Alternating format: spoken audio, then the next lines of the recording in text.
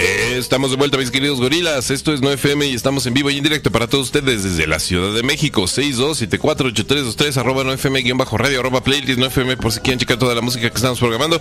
Y Facebook 9FM-radio. También nos pueden ubicar vía diagonal, todo menos miedo. Ahí están los medios de comunicación, mis queridos gorilas. Pónganse en contacto, estamos muy al pendiente de todo lo que nos quieran decir. Hoy, puro personaje notable en esta cabina. Es decir, el señor Cristian Adrillo, evidentemente. ¿Cómo estás, Cristian? Muy bien, ¿cómo estás? ¿Cómo te va? pero aparte de nosotros, un montón de personajes ya se irán enterando de qué va a ir este programa. Pero mientras tanto, ¿cómo estás, Cristian? Estaba muy mal. Estabas muy mal la semana pasada, pobrecito. Me dio muchísima pena y preocupación. me tenías con el santo en la boca.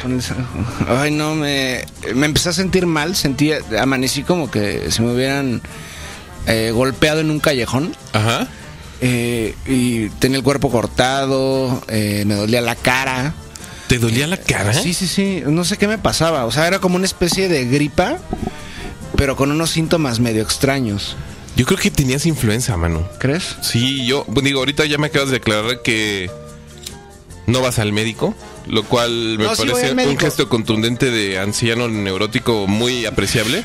Sí voy al médico, pero esta vez no fui porque como tengo que irme a... Pero te sentías muy mal, Nader, ¿por qué no fuiste? Me hubieras llamado y me hubieras dicho, necesito ir al médico. Y yo hubiera corrido, lo hubiera dejado todo. Te hubiera llevado. Muchas gracias, pero... No, bueno, porque pensé que era una gripa común y corriente.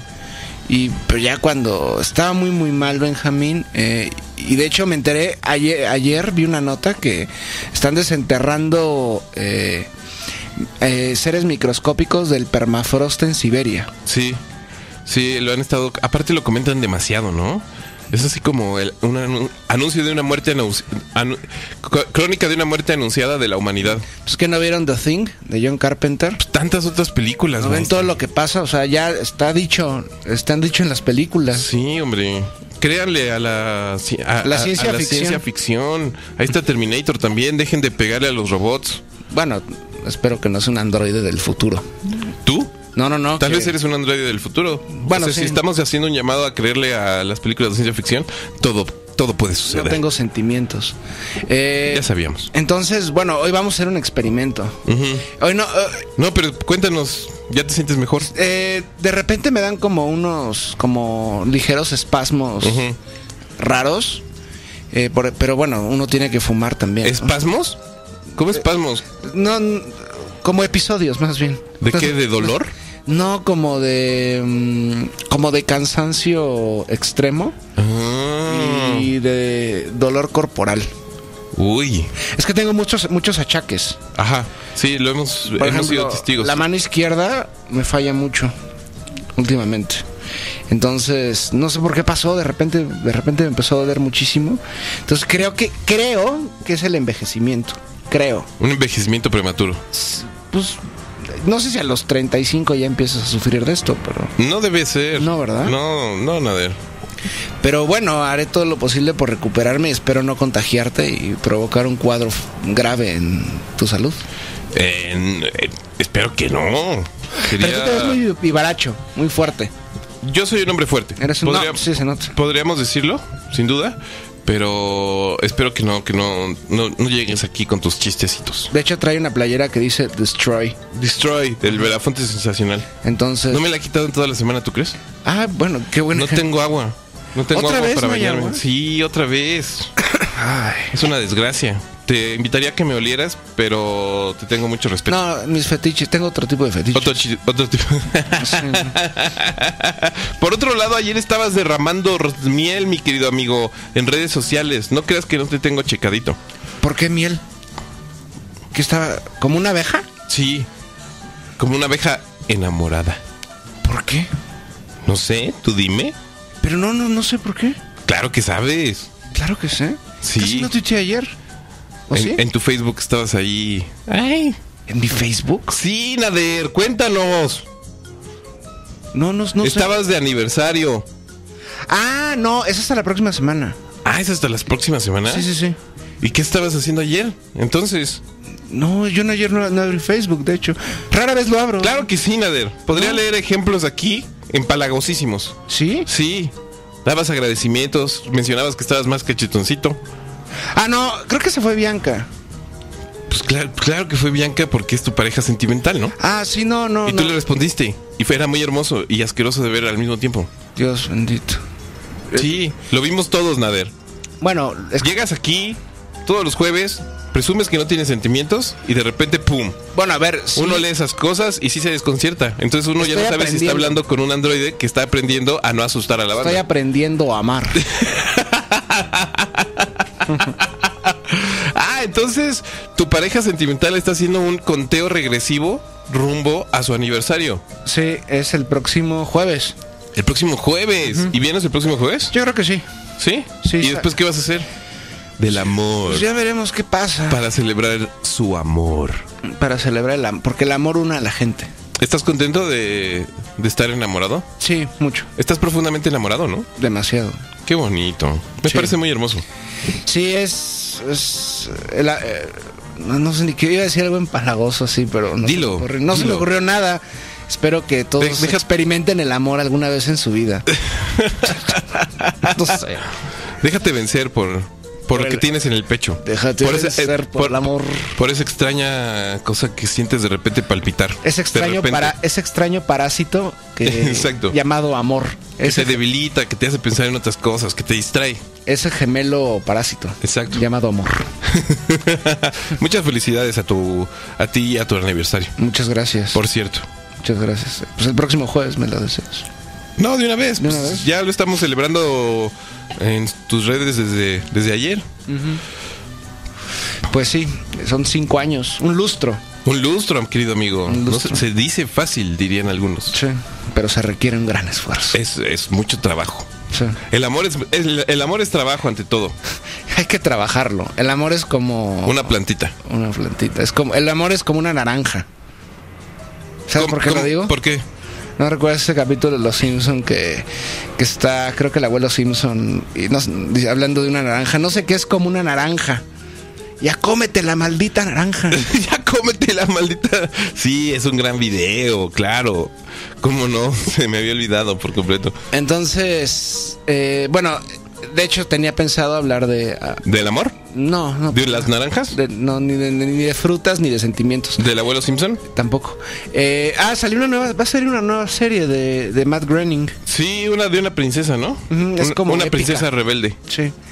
Eh, tenía pensado hablar de justamente de esto, que esta propuesta que, que les traigo a todos ustedes amablemente, eh, sobre no tanto invasiones, o sea, como que estamos tomándonos un descanso después de tanta violencia.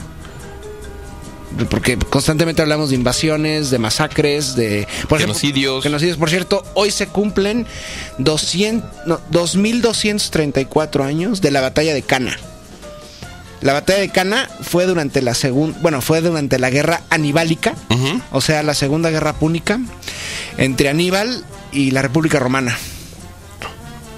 Eh, elefantes involucrados. Qué hermoso. Y eh, la República Romana aventajaba a Aníbal, creo que por 40 mil soldados. Hoy, se es el aniversario de esa batalla. Hoy es el aniversario, 2 de agosto. Creo que fue en el año 216 antes de nuestra era. Recomendaciones muy claras para ustedes, mis queridos gorilas. Cualquier información que puedan ah, eh, hacerse llegar de el señor Aníbal. De verdad, Aníbal Barca. eh, de, verdad, de verdad vale mucho la pena. Eh, por morbo, por cultura general, por conocer un personaje extra, ultra, mega épico. Lo que ustedes digan. Y le he agarrado mucho cariño últimamente porque descubrí que el apellido Barca, Ujú. el apellido de, de Aníbal, eh, eh, como eran, bueno, de ascendencia fenicia, se no, no utilizaban vocales, era, digamos, B, R, C. Pero generalmente lo, lo adaptaban a como Barakat. ujú. Y resulta que en la actualidad el apellido Barakat todavía existe, pero se resume como en Barket. O Barquet. Ajá. Y mi padre se apellida Barket.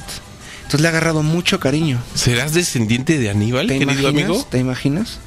Yo creo que sí. No, porque al final Aníbal decepciona mucho. No, ¿cuál? Cuando lo vence, se va de exiliado, acaba primero en Fenicia, bueno, en Tiro, y después acaba casi ca- en Bitinia. Por Pues el estaba ciego ya. Sí, estaba muy mal ya, pero. Es cruzó, los, cruzó los Alpes cruzó los Alpes tres veces. ¿Cuántas veces? ¿Tres o cuatro pero veces? Lo es que no atacó Roma. Es así como la. Digo.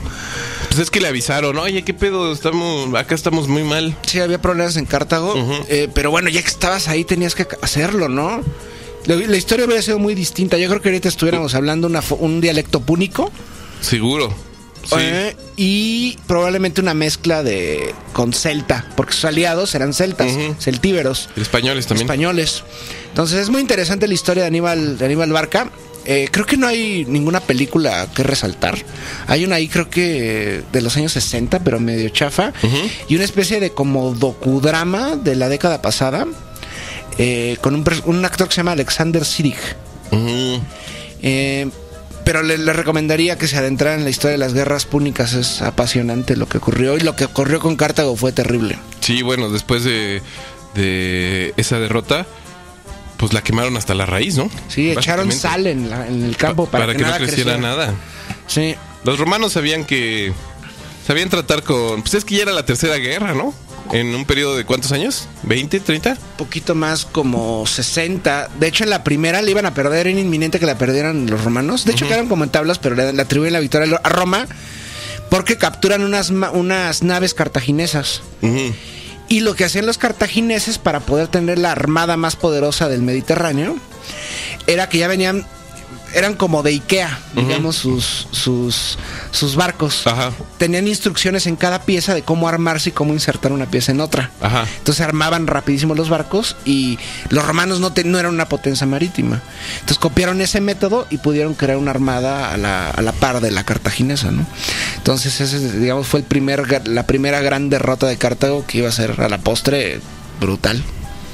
Pues ahí está, señores y señores.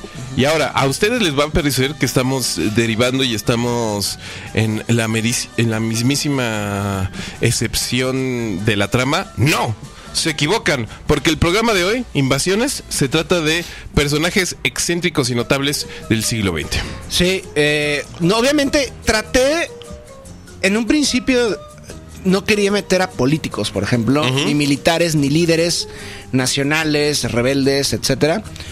Por ahí va a salir uno que otro, pero lo que quería es justamente que fuese como el contrapeso de la, no de la historia oficial, pero sí del poderío, digamos, los poderes, eh, digamos, reales del siglo XX. Me refiero concretamente al poder político, económico y, y militar cuáles son, pues, digamos, los poderes fácticos que en este momento pues, ya no son fácticos, ¿no? Creo que en este momento, en 2018, la cultura, el arte, la ciencia incluso, son poderes que están totalmente insertos en la lógica de poder del mundo, ¿no? O sea, hay una contracultura sin duda, pero creo que ciertos aspectos de esa contracultura ya están muy domesticados. Sin embargo, durante antes de que estos poderes fueran precisamente domesticados, porque es un poder a fin de cuentas, es un poder popular, es un poder artístico, cultural, eh, original, no tanto de las masas, sino de individuos que resaltan de esa masa y son como emblemáticos. Eh, entonces lo que, lo que intenté hacer era buscar una conexión de todos estos personajes. No conexiones tan obvias, porque por ejemplo ayer que presentábamos el programa, que lo anuncié por Twitter, pregunté qué tienen que ver Orson Welles con, Madero. Con Madero. Entonces me dijeron, pues la sobrina de Madero, sobrina lejana, era Dolores del Río. Ah, no sabía. Sí, sí. Y Dolores del Río estaba, tuvo una relación romántica con Orson Welles. Sí, claro. Que para quien no lo sepa, bueno, vamos a hablar de él, pero Orson Welles era uno de los personajes, digo, era un genio. Yo lo considero un genio, sin duda. Sí, claro. Tipo raro también. Sí, un tipo raro también. Y hay otras conexiones ahí que van a resaltar. Constantemente vamos a ser vamos, tienen que poner atención porque vamos a estar retornando y regresando y hablando de ese personajes, porque hay muchas conexiones. Simplemente tuve que mantener una especie de, hay que seguir la línea porque si no nos podemos perder, pero vamos a empezar con un personaje muy determinado. ¿Quién? Luis Buñuel. ¿Y a dónde vamos a llegar, maestro? A Luis Buñuel. Ahí está, señoras y señores. Hemos revelado la trama. La trama de esta eh, nueva emisión de Invasiones. Aquí en su 9FM de confianza. Si les parece, mis queridos amigos, si te parece, mi querido Nader. eh, vámonos con música y regresamos ya para darle durísimo a este hermosísimo capítulo que estoy seguro todos van a quedar muy satisfechos con el mismo. Me parece muy bien. Ok, va, buenísimo. Vámonos. Regresamos en un segundo, señores señores. No se vayan a ningún lado. Muchísimas gracias a toda la gente que ya se está comunicando. Muchísimas gracias a toda la gente que nos está mandando saludines. Saludines de vuelta. Ahorita eh, le entramos directamente a nuestras redes sociales. No se eh, agiten. Mientras tanto, vámonos con música. Esto es No FM. Todo menos miedo. Estamos de vuelta, mis queridos gorilas. Esto es 9FM y estamos en vivo y en directo para todos ustedes desde la Ciudad de México. 62748323, arroba 9FM-radio, arroba playlist 9FM por si quieren checar toda la música que estábamos programando. Y Facebook 9FM-radio. También nos pueden ubicar vía diagonal, todo menos miedo. Ahí está, señores y señores. Ya les describimos un poquito la dinámica de este eh, programa de investigación Invasiones. En su jueves, en su jueves, aquí en su 9FM de confianza. Y empezamos con Luis Buñuel, con la idea de regresar a Luis Buñuel. Yo creo que, eh, pues sí, uno de los tops de la cinematografía mundial, sin duda es de los 10 mayores directores, guionistas también, escenógrafos incluso. Eh, ¿De la historia? Pues sí, yo creo. que sí. Órale. Sí. Le tiene. Y yo creo que el periodo. Le tienes un cariño Sí, profundo. me encanta Luis Buñuel. Me encanta, por ejemplo, El Ángel Exterminador es de mis películas favoritas. Ajá, es rarísima. Sí. Eh, Nazarín también me gusta mucho. Eh, de hecho, les recomiendo tener una libreta porque va a haber muchas recomendaciones. Ujú, pues sí, Tanto fílmicas como bibliográficas, eh, musicales, pictóricas incluso.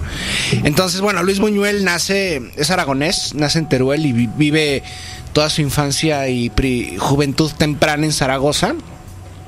Hasta que va a Madrid a estudiar y ahí conoce pues a toda la banda, ¿no? A toda la camarilla. O sea, no, es no, no está con cualquiera, está con, por supuesto, con Dalí, con García Lorca, Con Rafael Alberti. Rafael Alberti. eh, creo que García Lorca le tira bastante el perro, ¿no? ¿A Buñuel? Creo que sí. No, creo que ahí la- el objeto del deseo de Lorca era eh, otro, otro chamacón poeta y Dalí. ¿Dalí? De hecho, va a tener... Buñuel era muy feo desde siempre. Era raro, ¿no? Muy tosco, ¿no? Sí, era un hombre era un hombre muy digno de su tierra. Sí. Así parecía una piedra aragonesa eh, formada por el viento y el mar. Gallanesco. Ajá. Eh, eh, muy adusto. Eh, de hecho... eh, Muy fetichista. Sí.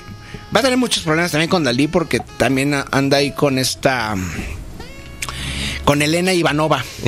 Elena Ivanova es gala. Y también como que también tiene un malentendido ahí eh, medio romántico, ro- eh, romántico de repente. Pero esto se va a acentuar con, por supuesto, cuando eh, después cuando comienza la guerra civil, le va- eh, Franco le, le va a poner precio a su cabeza. Al señor A Buñuel. Buñuel.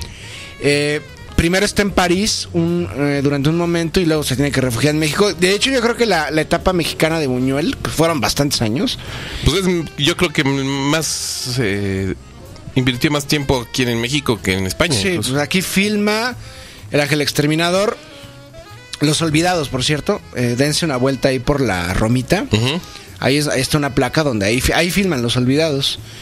Con el, ¿cómo se llama? El Jaibo, ¿no? El Jaibo. Jaibo y la banda. El famosísimo Jaibo. Sí, es muy...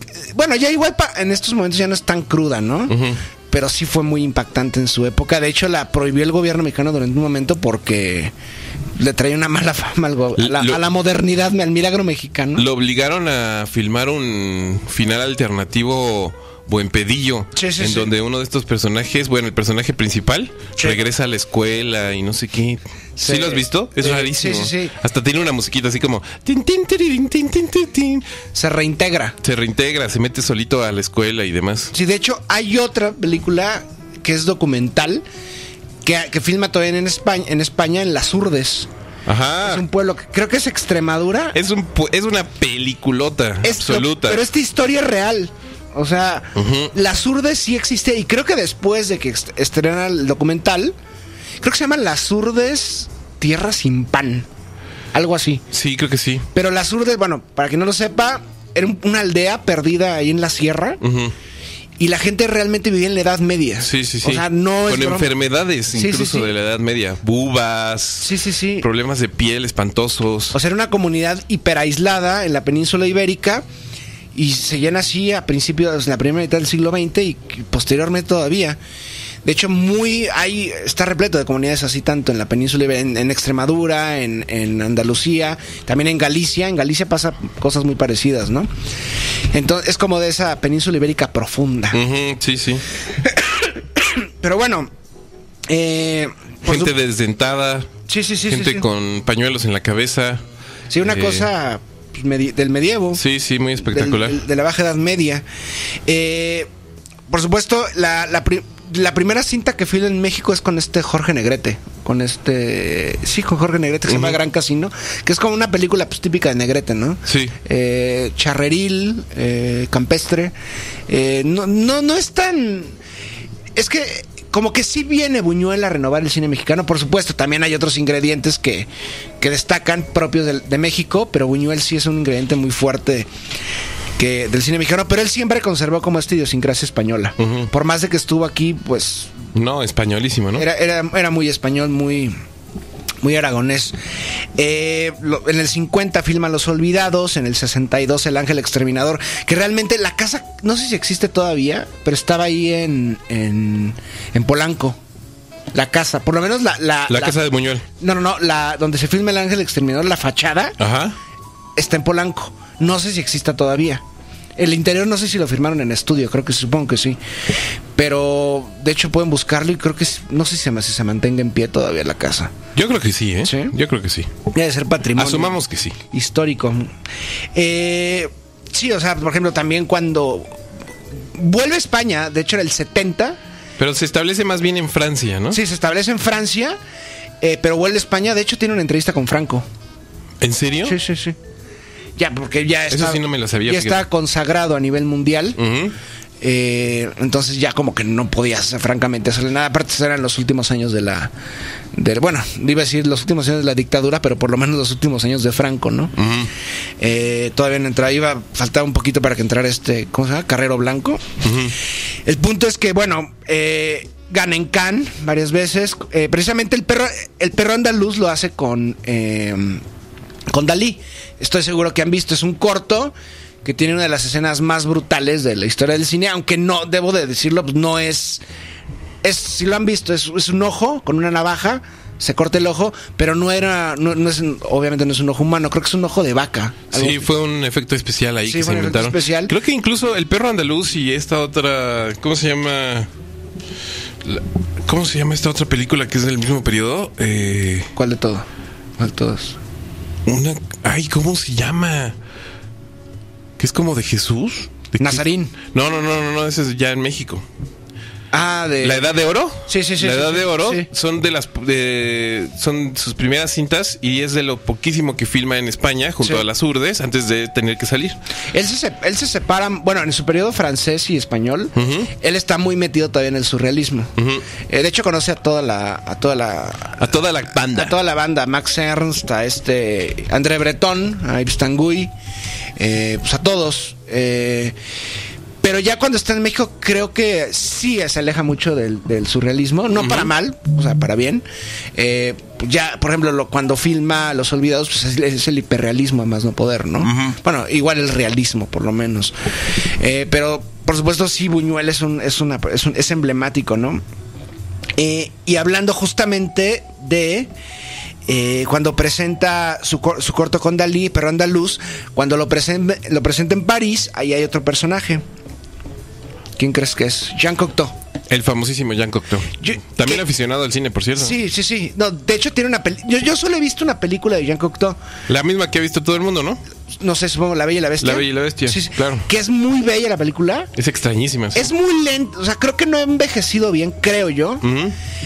Eh, de hecho, no lo considera surrealismo. Más bien es fantasía pura y dura, ¿no? Es muy onírico. Es muy. como estas películas nebulosas. De hecho, ahí se configura muy bien la imagen de la bestia. Que va, se va a retomar en muchas otras películas, incluyendo la versión de Disney, ¿no? De hecho, no sé si se acuerdan que en los 80 sacaron justo unas mini, una serie de La Bella y la Bestia. Pero estaba ubicada en las alcantarillas de Nueva York. Y la bestia era este Ron Perlman, que luego, eh, bueno, trabajó con Del Toro justamente en Cronos. Sí, y claro. Hellboy también. Sí, claro, claro. Y la bella era esta. La chica de Terminator. ¿Cómo se llama la mujer de Terminator? La mujer de la actriz, Terminator. este, Sarah Connor. Sarah Connor. que fue esposa de James Cameron. Ella es la, la bella y están enamorados, pero toda la trama se desarrolla en Nueva York, como entre mutantes y Morlocks, casi casi, ¿no? Es muy como modernizada la versión. Yo realmente nunca he sido fan de Jean Cocteau, pero justamente quería y debía, para que esto fuera más lúdico, conectarlo con un personaje que no se esperaran tanto. Y justamente Jean Cocteau estaba presente, como muchas otras celebridades, en el estreno de, del Perro Andaluz. Y justamente Jean Cocteau va a llegar un momento en que él va a ser juez del, del Festival de Cannes Sí, claro. con otro gran personaje que debo de decir algo, eh, no es mi favorito. Estoy- están viendo las conexiones, obviamente, ¿no? Sí, sé si claro. vayan siguiendo las conexiones, pero en este caso mi me refiero, por supuesto, mi, mi- mi director favorito de la, de la Nouvelle Vague es este Jean-Luc Godard. Ajá. No es... Qué eh, pesada la novela Bach, ¿no? Sí, no, No es no- para todo no el es lo mundo. no es para todo el mundo. Creo que los 400 golpes es lo más como...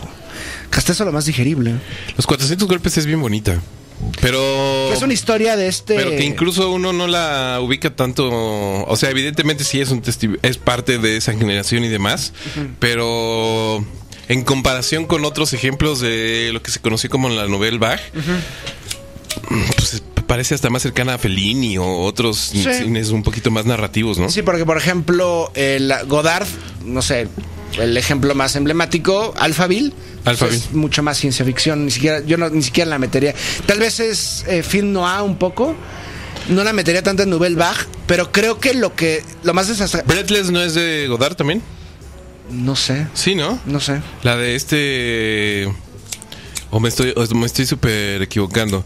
La de este hombre muy guapo, Jean-Paul Belmondo. Que sale este. Que es un romance. Eh, ¿Se te hace muy guapo? muy hermoso, nada. otro día alguien me dijo que Gerard Depardieu lo consideran guapo. ¿Tú lo consideras guapo? Gerard Atractivo. Atractivo en su Es muy- juventud. es muy francés, ¿no? En su juventud sí, tenía así como un rollo pandilleril muy particular. Muy, muy en la onda de François Truffaut. Ajá. Porque la de los 400 golpes es precisamente la vida de François Truffaut. O sea, él también estuvo, creo que en un internado y su, creo que su padre no era su padre, algo así súper raro. Es generación de la guerra, maestro. Sí, sí, sí. Eh, creo Total. que. Sí, él se, se debe apellidar François Levy. eh, Levy. Él era mitad judío y creció pensando que era cristiano, pero su, verdad- su auténtico padre era, era, era judío francés. Por acá nos dice Diablos allí Linda Hamilton, Linda Sarah Hamilton, Connor. Sarah Connor, sí. I'll be back. Entonces ella salió en la versión de, de La Bella y la Bestia eh, ochentera. Claro. Pero era en televisión. Sí, sí, sí. Son dos episodios que, que rara vez recuerdo de los ochentas. Me acuerdo de otra. ¿Te acuerdas de Max Headroom? Max Headroom no. De la Bella y la Bestia sí. Max Headroom era duró muy poco, pero fue muy célebre porque era un personaje como hecho por computadora que salía en una televisión encerrado. No, para nada. Sí, sí lo has visto. Busca Max, Max Headroom. Estoy seguro que lo has Max visto. Headroom. con, con H. Sí, eh, como Headroom. Ah, ¿cómo no? Pero este era de un video, ¿no? No, no, no, era una serie. Era una serie. Era una serie y lo utilizaban mucho para promocionar muchos productos. Creo que había un anuncio de Pepsi en la televisión abierta mexicana. Ah, ¿en serio era una serie? Sí, sí, sí. Era una serie, pero no, no pegó mucho, pero fue como muy innovadora porque fue como un acercamiento temprano televisivo al cyberpunk. Qué raro. Van a empezar a salir detalles así que no te parecen ser inconexos, pero más adelante los vamos a ver, ¿no? No tenía. Ay, qué chistoso. Pensé que era parte de un video. ¿No sale en algún video Sí, incluso? sí, salen videos y en comerciales. En Max Headroom. Max Headroom. Pero bueno, eh, ya regresando con, con Truffaut. A ver, espérate, espérate, espérate. Que no se pierda la gente. Porque esto va a ser. Buñuel. Buñuel. Jean Cocteau Jean Cocteau. y François Truffaut. Jean Cocteau, escritor, eh, filósofo Eh, y cineasta. Poeta, cineasta. Poeta. Creo que también fue director teatral. Sí, fue claro. Lo que más, lo que más hizo. Creo que La Bella y la Bestia previamente es una obra de. Su adaptación es una. Eso no sabría, fíjate, pero podría ser. Creo que sí. Podría ser. Entonces, Luis Buñuel, Jean Cocteau, François Truffaut. Ajá, François Truffaut. De hecho, François Truffaut se vuelve famoso ya, digamos, en el cine más comercial cuando Spielberg lo recluta para Close Encounters. Que es un hermoso, es un hermoso reconocimiento a la labor de este cineasta, ¿no? Sí, o sea, François Truffaut. Para quien no lo ubique, en Encuentros cercanos del tercer tipo, generación 5 de los domingos, eh, es el investigador francés. francés que está en esta base armada para recibir al a la comitiva alienígena que va a visitar la Tierra y que descifra todo este asunto de la música, el que, ahí que es muy hermoso. Utilizan el método este de, ¿cómo se llama? Creo que es Bela Bartok, ¿no? El húngaro. ¿Sí es Bela Bartok? No sé. ¿De qué, ¿A qué te refieres? Eh, el que utilizó música para enseñarle a los a los sordos, creo. Ah, no sé, man. Ahí sí no sé. Bueno, el punto es que Spielberg recluta a François Truffaut para porque también era, era actor y actuó en la película de Close Encounters. De hecho, hay una escena muy famosa que al principio eh, están en México, de hecho, porque en México quedan abandonados unos, unos aeroplanos. Entonces se acercan con un anciano. Eh, el otro actor junto con François Truffaut y le preguntan un todos los ancianos y todos están haciendo algún signo hacia el cielo no eso es en la India. Ajá. y ya en México le preguntan a un anciano en español Ajá. díganos viejo qué vio Ajá. entonces dice el viejo el sol salió, salió anoche y me cantó. El sol salió anoche y me cantó. Y los lleva detrás de una duna y tras la duna está ese es el Cotopaxi ese es en Mongolia en el desierto del Gobi. Ah en serio sí que encuentran un barco gigantesco. No y los aviones están ahí. Ah, es que, son dos desiertos. Sí, sí, sí. Es una gran película. Eh, es buenísima. A mí me encanta. Me encanta. Es de, mi top ten de toda la historia. Sí, sí, sí. Es, increíble. Que, por supuesto, eh, hay una la versión más famosa es la versión digamos la versión especial que salió creo que un año dos años después pero hay otra versión con escenas distintas que es la primera versión la cinematográfica fue directo al cine búsquenla, son, son dos, distintas versiones. Pero bueno, creo que hubiera sido muy obvio conectar a François Truffaut con Spielberg. Entonces lo voy a conectar con otro director. A ver. Eh, con Hitchcock. ¿Con Hitchcock? ¿Truffaut? Bueno, Hitchcock y Truffaut. Truffaut tiene un libro, ¿no? Sobre Hitchcock. Y acaba de salir, creo que hace dos o tres años, la el, el documental sobre ese libro. Ah. Lo que, lo, que ¿Cómo se llama? ¿Te acuerdas? Eh, creo que Truffaut y Hitchcock. Ah, ok. Truffaut, para que no lo sepa, entrevistó a Hitchcock durante una semana en los estudios Universal. Creo que la entrevista dura 50 horas. Así, tal cual. Sí, sí, sí. Y hablando de cine nada más. Hitchcock Truffaut se llama el documental. Sí, por favor me refiero a Alfred Hitchcock. Sí, es de 1962 la entrevista en los estudios Universal. O sea, apenas eh, acaba de explotar la Nouvelle Vague y... ¿Sabes por qué no me gusta tanto la Nouvelle Vague? Es como estar escuchando canciones de Serge Gainsbourg todo el día. Hay tanto cliché del cigarro y el encanto parisino. Llega un punto en que está padre, pero ya no. Y fíjate que un esfuerzo anticapitalista, antiburgués, que en muchos sentidos era ese el de la Nouvelle Vague, se vuelve tan snob y tan burgués y tan y tan eh, capitalista que puede ser eh, eh, insoportable, ¿no? hay, películas que de repente si uno dice, verga, maestros, ¿dónde mierdas viven? Ah, es que viven en París. Justo, y creo que por eso no soy tan o sea, no está conectado con la Nouvelle Vague, pero es la misma escena parisina, donde no nada está François Truffaut, estaban todos, iban todos ahí. Entonces estaba, por ejemplo, no sé, también la filosofía, es, es menciónate algunos miembros de la Nouvelle Vague para que la gente pues los tenga ubicado. Pues este...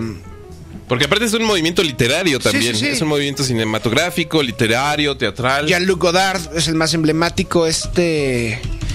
Ay, este, ¿cómo se los otros, los otros tres directores de cine? Hay otros tres muy... Ahorita te voy... Bueno, incluso esta... La Edith Piaf también entra. Ajá, la señora que ahora es tan famosa documentalista que tiene esta cosa hermosísima que se llama Las Recolectoras. Los como Iris. No sé cómo se La señora de los pelos de colores. Sí sabes, Nader. Dime. ¿Es contemporáneo? Está vivísima. A ver, mira, ahí te van algunos de los miembros más destacados. François Truffaut. Jean, ¿Hay un Chanou? Jean-Luc Godard, Jacques Rivet, Eric Romer, eh, Claude Charbol, eh, entre tantos otros. ¿Y cómo se llama esta mujer? ¿Cómo se llama esta mujer? Ahorita les voy a decir porque la tienen que buscar y la tienen que amar. Iris ¿Qué? ¿Iris qué? Sí sabes, no recuerdo. De, de hecho, me gusta la respuesta francesa de los últimos 20 años a la Nouvelle Vague. Eso justamente te iba a decir. Es la muy respuesta del cine hiperrealista, violentísimo. Con este Alexander Aya y... Eh, France- eh, pa- para quien Gaspar no, Noé. Gaspar Noé.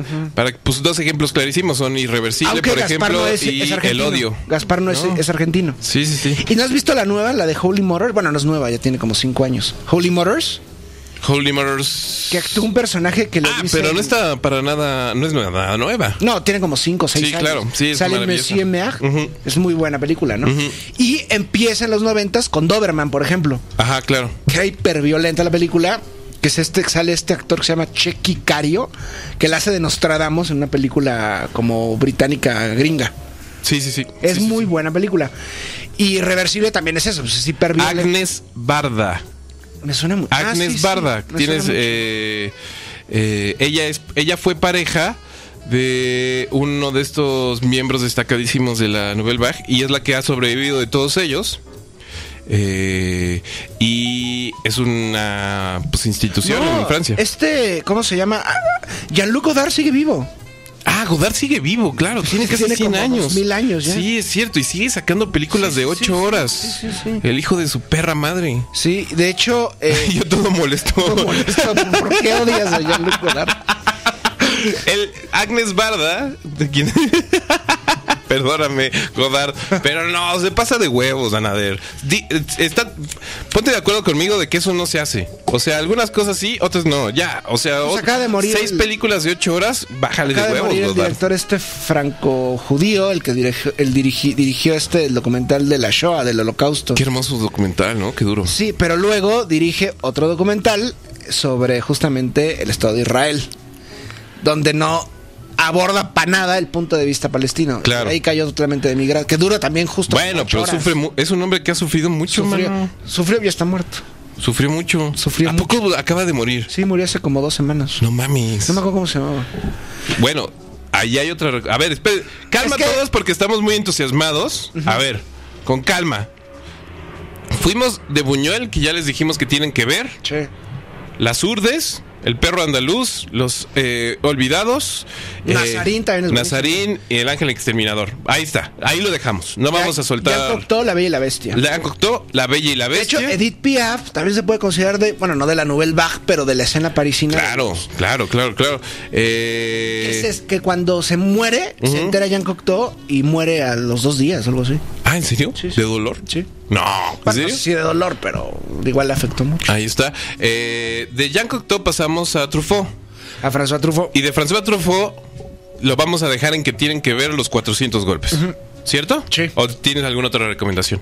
Pues Close Encounters, ¿no? Ah, bueno, ahí está, pero... eh, y este documental sobre Hitchcock. Sí. ¿no? Se llama Truffaut y Hitchcock. Lo pueden revisar por ahí en internet. Y Truffaut es parte de un grupo intelectual, artístico, creativo La francés llamado La Nueva Ola, la Nouvelle Vague, eh, eh, de la cual fue miembro un montón de gente que sí tienen que tener muy a la mano para sus conversaciones de mamones, eh, como François Truffaut, Sí. Jean-Luc Godard. A ver, dime una película que tiene que ver la gente de Jean-Luc Godard. Alphaville. Ahí está, Alphaville. Jacques Con Rivet. Rémy eh, Cochon. Jacques El Rivet. actor, de, el actor de Alphaville es gringo. Eh, Ah, claro. Sí, sí, sí. Sí, sí, sí. Es verdad, es verdad, es verdad. Eh, Jack River, que eh, tiene esta película que se llama. ¿La ubicas? Sí, Eh, tiene El amor por tierra. El amor por es tierra. que no, no- llega un punto en que no soporto. Es realmente. Él, él es muy denso. Él es de los ridículos de la Nouvelle Vague. Eric Romer, que es eh, más que nada crítico y sobre todo. para que entiendan, Sí. son películas para gente que hace películas. Sí, exacto, exacto. Cine para Básicamente, y se Claude Charbol, Sí, sí. que es el otro muy famoso. eh, y el. No, pero también influyeron muchísimo en otras escenas. O sea, Fellini también estaba ahí, no totalmente metido, pero estaba metido. De hecho, una de mis películas favoritas de la época, de aquella época, es La Batalla de Argel, ya lo, acabamos de mencionar hace poco, de este Gilo Pontecorvo. Se ve muy influenciado por el cine francés, pero la potencia de la película de La Batalla de Argel es impresionante. O sea, no, no lo pueden hacer ahí. O sea, lo hace por su propio lado desde Italia. Ahí está. Pero, y, y justamente era muy penado hablar de la batalla de Argel desde Francia. ¿Por qué? Porque acaban de perder la colonia. Ahí está. Bueno, pues entonces ahí estamos, en la Nouvelle Vague, pero estamos centrados en Truffaut. Sí, ahora nos tenemos que ir a Calais, al norte de Francia, Sí. y cruzar el Canal de la Mancha y llegamos a, un país llamado Gran Bretaña. Ok. Entonces ahí está Alfred Hitchcock, por supuesto. Que es que, eh, Hitchcock nunca ganó el Oscar. Eh, tiene un Oscar honorario. ¿no? Honorario, pues igual que Chaplin, ¿no? Pero, por ejemplo, eh, cuando, le- cuando era seguro que le iba a ganar, no me acuerdo qué película, lo gana este, este John Ford. Por las uvas de la ira, que ya hemos hablado de las uvas de la ira de la novela de John Steinbeck. Claro. Que la novela es impresionante. Oye, ¿me regalas un cigarrito? Sí, claro. Eh, de hecho, también Hitchcock filmó, creo que más de 50 películas, 60 películas. Eh, la a mí- a- te- mi favorita, por ejemplo, sin duda, es Vértigo. Vértigo me fascina. Vértigo es muy espectacular. Vértigo me gusta mucho. Los pájaros creo que no envejeció tampoco muy bien. Eh, entendamos que era otra forma de actuar en aquella época. Y más que nada ante la cámara era distinto. Entonces hay una... Creo que de hecho en Los pájaros sale esta Jessica Tandy. No me acuerdo del nombre, pero es la mamá de esta otra actriz Sí, de la otra... de Goldie Hawn o algo así. O sea, la- después de los pájaros no pudo hacer nada más porque Hitchcock la torturó, persiguió y fetichizó, objetualizó estaba- como un demente. Estaba medio... No, era un medio demente. locuaz, Medio locuaz. Hay unas películas ahí bonitas. Hay una muy en particular que se llama Hitchcock, en donde retratan con mucha claridad su loquera y sobre todo su extrañísima relación con su esposa. Sí. Que era una relación entre maternal, entrañable y perversa, oscura, tragicómica. Y que todo el mundo dice que en realidad el genio detrás de, de Hitchcock era la mujer, que era la editora. Sí. Ajá.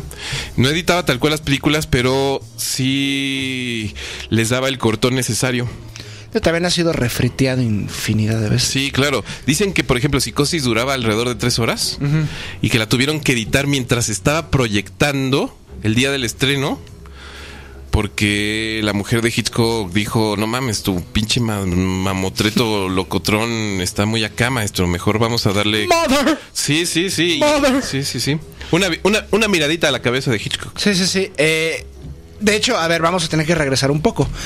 Eh, él trabaja, por ejemplo, en la RKO. Iba a hablar de Howard Hughes, Ajá. pero ya no me quise meter tanto. Howard Hughes no funda, creo que RKO, creo que se acaba siendo accionista. Pero para que no sepa eh, Howard Hughes, les voy a dar una pista. Suban a la cumbancha. Sí, claro. Hay una película de Martin Scorsese Sí, llamada con- El Aviador. Sí, con DiCaprio. Dedicada a la extrañísima personalidad de este señor Howard Era un demente también. O sea, la mayoría de estos personajes, o sea, no, no, no tanto rayan en la demencia, pero sí son extremadamente excéntricos o tienen algo, algo que destacar, pero no se, no se adaptan a la norma, por supuesto, ¿no? Claro. Y por supuesto, eso, la genialidad está implícita ahí mismo, ¿no? Pero, por ejemplo, eh, está Spellbound. Spellbound la hace con Dalí. Eh, y ahí Hitchcock hace un homenaje, va, regresemos otra vez atrás, al perro andaluz. Que hay una cortina de un ojo, la cortan Ajá. en honor al perro andaluz de, de Luis Buñuel. Ah, mira, qué bonito detalle, no Sí, me sí, lo sabía, Es- fíjate. Es con este Spellbound es ¿Cómo se llama este actor? Creo que es Cary Grant. No. O Gregory Peck. No, Gregory, creo que es con Gregory Peck. Y con esta la sueca. ¿Cómo se llama la actriz sueca? Ul- umul- ul- ul- No, no, no, no es Lee Bullman. ¿No? Es, es esta Martini. Eh, Bergman. Pero no, no, el- no el director, esta. ¿Cómo se llama? sí, esta. Pero no es Ul Bergman, ¿o no? Ingrid Bergman. Ingrid Bergman. Sí, sí, sí. Mm. Eh, y justamente sale en Spellbound. Es como un, es un sueño, por supuesto. Eh, luego van a actuar en otra película. De hecho, la, ¿cuál será las más famosas de, sin duda, de Hitchcock? Tal vez sea, más allá de Psicosis y Los pájaros, eh, La ventana indiscreta, por ejemplo. Claro. Que recordemos que es un hombre lesionado que está en. que está todo el día en la ventana y fue refritado en Los Simpsons muchísimo, ¿no? Por ejemplo, ¿no? Sí, bu- bueno, es una referencia del cine para todos, ¿no? Sí. Entonces, Buñuel, Sí. A ver si te Cocteau. Ya- Truffaut. Truffaut. Hitchcock. Hitchcock. Ahí estamos. Ya dimos referencias, ya dimos recomendaciones. Al final vamos a hacer un resumen de recomendaciones de cada uno de estos personajes, pero vamos en cuatro nombres importantes. Sí. Y ahora vamos a retomar un nombre que ya hablamos de él, pero vamos a hablar un poquito más a profundidad. Por supuesto, es Dalí. Dalí. Salvador Dalí. De, de, de- de Hitchcock saltamos a Dalí. ¿Por qué? Pues trabajó con él en Spellbound. De hecho, o sea, creo que aquí es cuando ya le juegan al loco demasiado. Otro perversazo Sí. histórico, ¿no? Sí, sí, sí. ¿Y Dicen qué? que cuando se casó con Gala, se metieron, se encerraron en un hotel durante una semana y los tuvieron que sacar en camilla. Y que Pues es tuvieron que- que básicamente limpiar industrialmente la habitación de hotel porque entre excrementos, cochinadas y perturbaciones eh, surrealistas eh, no había nada que hacer. Eh, ¿Cómo se dice cuando un, corre, un coche choca y ya no hay nada que hacer? Pérdida total. Ajá, la habitación era pérdida total de las loqueras que se les se pusieron a hacer ahí dentro, mi querido amigo. Eh, este Dalí, pues como que sus... La bizarreza empieza desde niño, ¿no? Porque Salvador Dalí no fue el primer Salvador Dalí. Tenía un hermano, fallece. Al que se comió. Ajá. ¿Sí? ¿En serio? No. No, no, no. Eh, falle- eh, fallece su hermano y sus padres le ponen también Salvador Dalí. Pero él pensaba que era como la No, re- reencarnación qué de enfermos. Ya ves cómo es España. Siempre logra perturbar a la banda. Sí, y, y ay, está siempre la famosa frase de Dalí sobre México, ¿no? Que no soportaba un país. No voy a volver a México porque no soporto un país más surrealista que mis obras. ¿No era bretón ese? No, Bre- Eso- Bretón dijo que definitivamente México es un país surrealista. Ah, ok. Luego pues, Dalí lo amplió. Que Dalí se aleja de Bretón. Es la puta frase de mierda que cualquier mexicano estúpido suelta en conversación mezcalera Sí. Para explicarle a un extranjero Lo que es México. Lo que es México, ¿no? Los odio, por cierto. Todos ustedes, si lo han dicho alguna vez, discúlpenme, pero no, los ya- y lo mega acabo, lo odio. acabo de decir ahorita, ¿no? No, pero lo los de citaste, es otro contexto, les das grosor a los personajes, etcétera. No, no, no, si ustedes están echando una chelita y quieren impresionar, entre comillas, a la gente con la que están sentados y dicen, oh, es que México es un país con esta surrealista". música que tenemos de fondo. Ajá. Porque se me olvidó incluir un personaje, y creo que vamos a tener que hacer algún día una segunda parte de esto. Ajá. A Juan García Esquivel. El maestro García Esquivel. ¿Y, por- y ahí, hay, ahí cuál es la conexión? Todas, ¿Con García Esquivel? muchísimas. ¿Cuál? Pues estuvo en Hollywood, en Las Vegas, pasó mucho y conoció a Bernard Herrmann, a infinidad de Pero celebridades. de todos estos personajes que hemos mencionado hasta el momento, ¿quién pasó por Esquivel? Ah, ¿verdad? Nada más lo querías mencionar por pedante. No, Bernard Herrmann trabajó con Hitchcock. Ay, pinche Nader, siempre Pues- tienes tú la respuesta. Vamos, vamos, pero sí, o sea, se va a prestar a esto, pero a ver, nos tenemos que ir más rápido. Bueno, el caso de Dalí, pues ni siquiera su bigote era como muy original, ¿no? Pues lo copia de Velázquez. Ah, no lo había pensado, es verdad. Sí, loco, y se lo arregla. Y, o sea, sí, Dalí era la, la locura, o sea, desde que empecé a comulgar con el, con el bando franquista, pues ya ahí como que cae un poco de mi gracia, porque no, no, no se mantiene como a la- como, por ejemplo, Buñuel fue más como sencillo, ¿no? Dijo, yo no soy comunista, pero soy republicano, me alejo de esto y casi no me meto en política, entre comillas, ¿no? Porque luego sí le entra por muchos lados, pero Dalí llegó a un punto en que ya era, ya era ridículo, ¿no? Eh, Detalle chistoso de Buñuel, por ejemplo, era un gran obseso de la religión católica, Sí, como sí, buen sí, español, pero al grado del fetiche y una de sus grandes obsesiones en la vida era disfrazarse de monja y de padre. Y ustedes pueden ser testigos de esta obsesión en una película que se llama El Gallo de Oro, que el guion es de Juan Rulfo. Eh, basado en un texto de Juan Rulfo, el guion es de varias gentes junto a Juan, Ru- Juan Rulfo, en donde aparecen muchos personajes de la cultura mexicana. Por ahí Monsiváis está echando un tequila en una mesa con algunos amigos, etcétera, y hay una, hay un sermón de Muñuel. Buñuel es el padre en esa película. Lo pueden ver, búsquenlo, El Gallo de Oro. eh, otra referencia fílmica para todos ustedes. de hecho, Película mexicana, por cierto. según yo, Dalí una película mexicana. ¿O es mi, o es mi, es mi imaginación? Ay, no sé, pero sé que trabajó con Disney, por ejemplo. Tienen un Trabaja corto- con Spellbound, se llama, se llama se- Destino. Dura siete minutos, es un cortometraje. el del béisbol.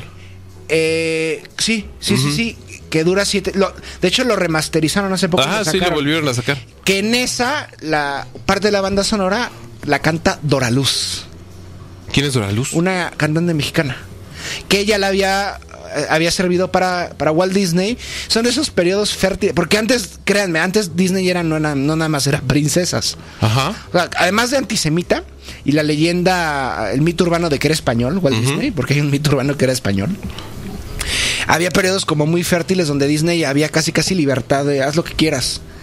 Y fue en ese momento, en la época de la eh, de la Segunda Guerra Mundial, cuando estaban buscando alianzas con los países latinoamericanos, Estados Unidos, que utiliza, le pide- el gobierno gringo le pide a Disney que utilice, eh, que haga una película de propaganda para Estados Unidos. Ah, claro, es Que es de buenísima. mis películas favoritas que se llama Los Tres Caballeros.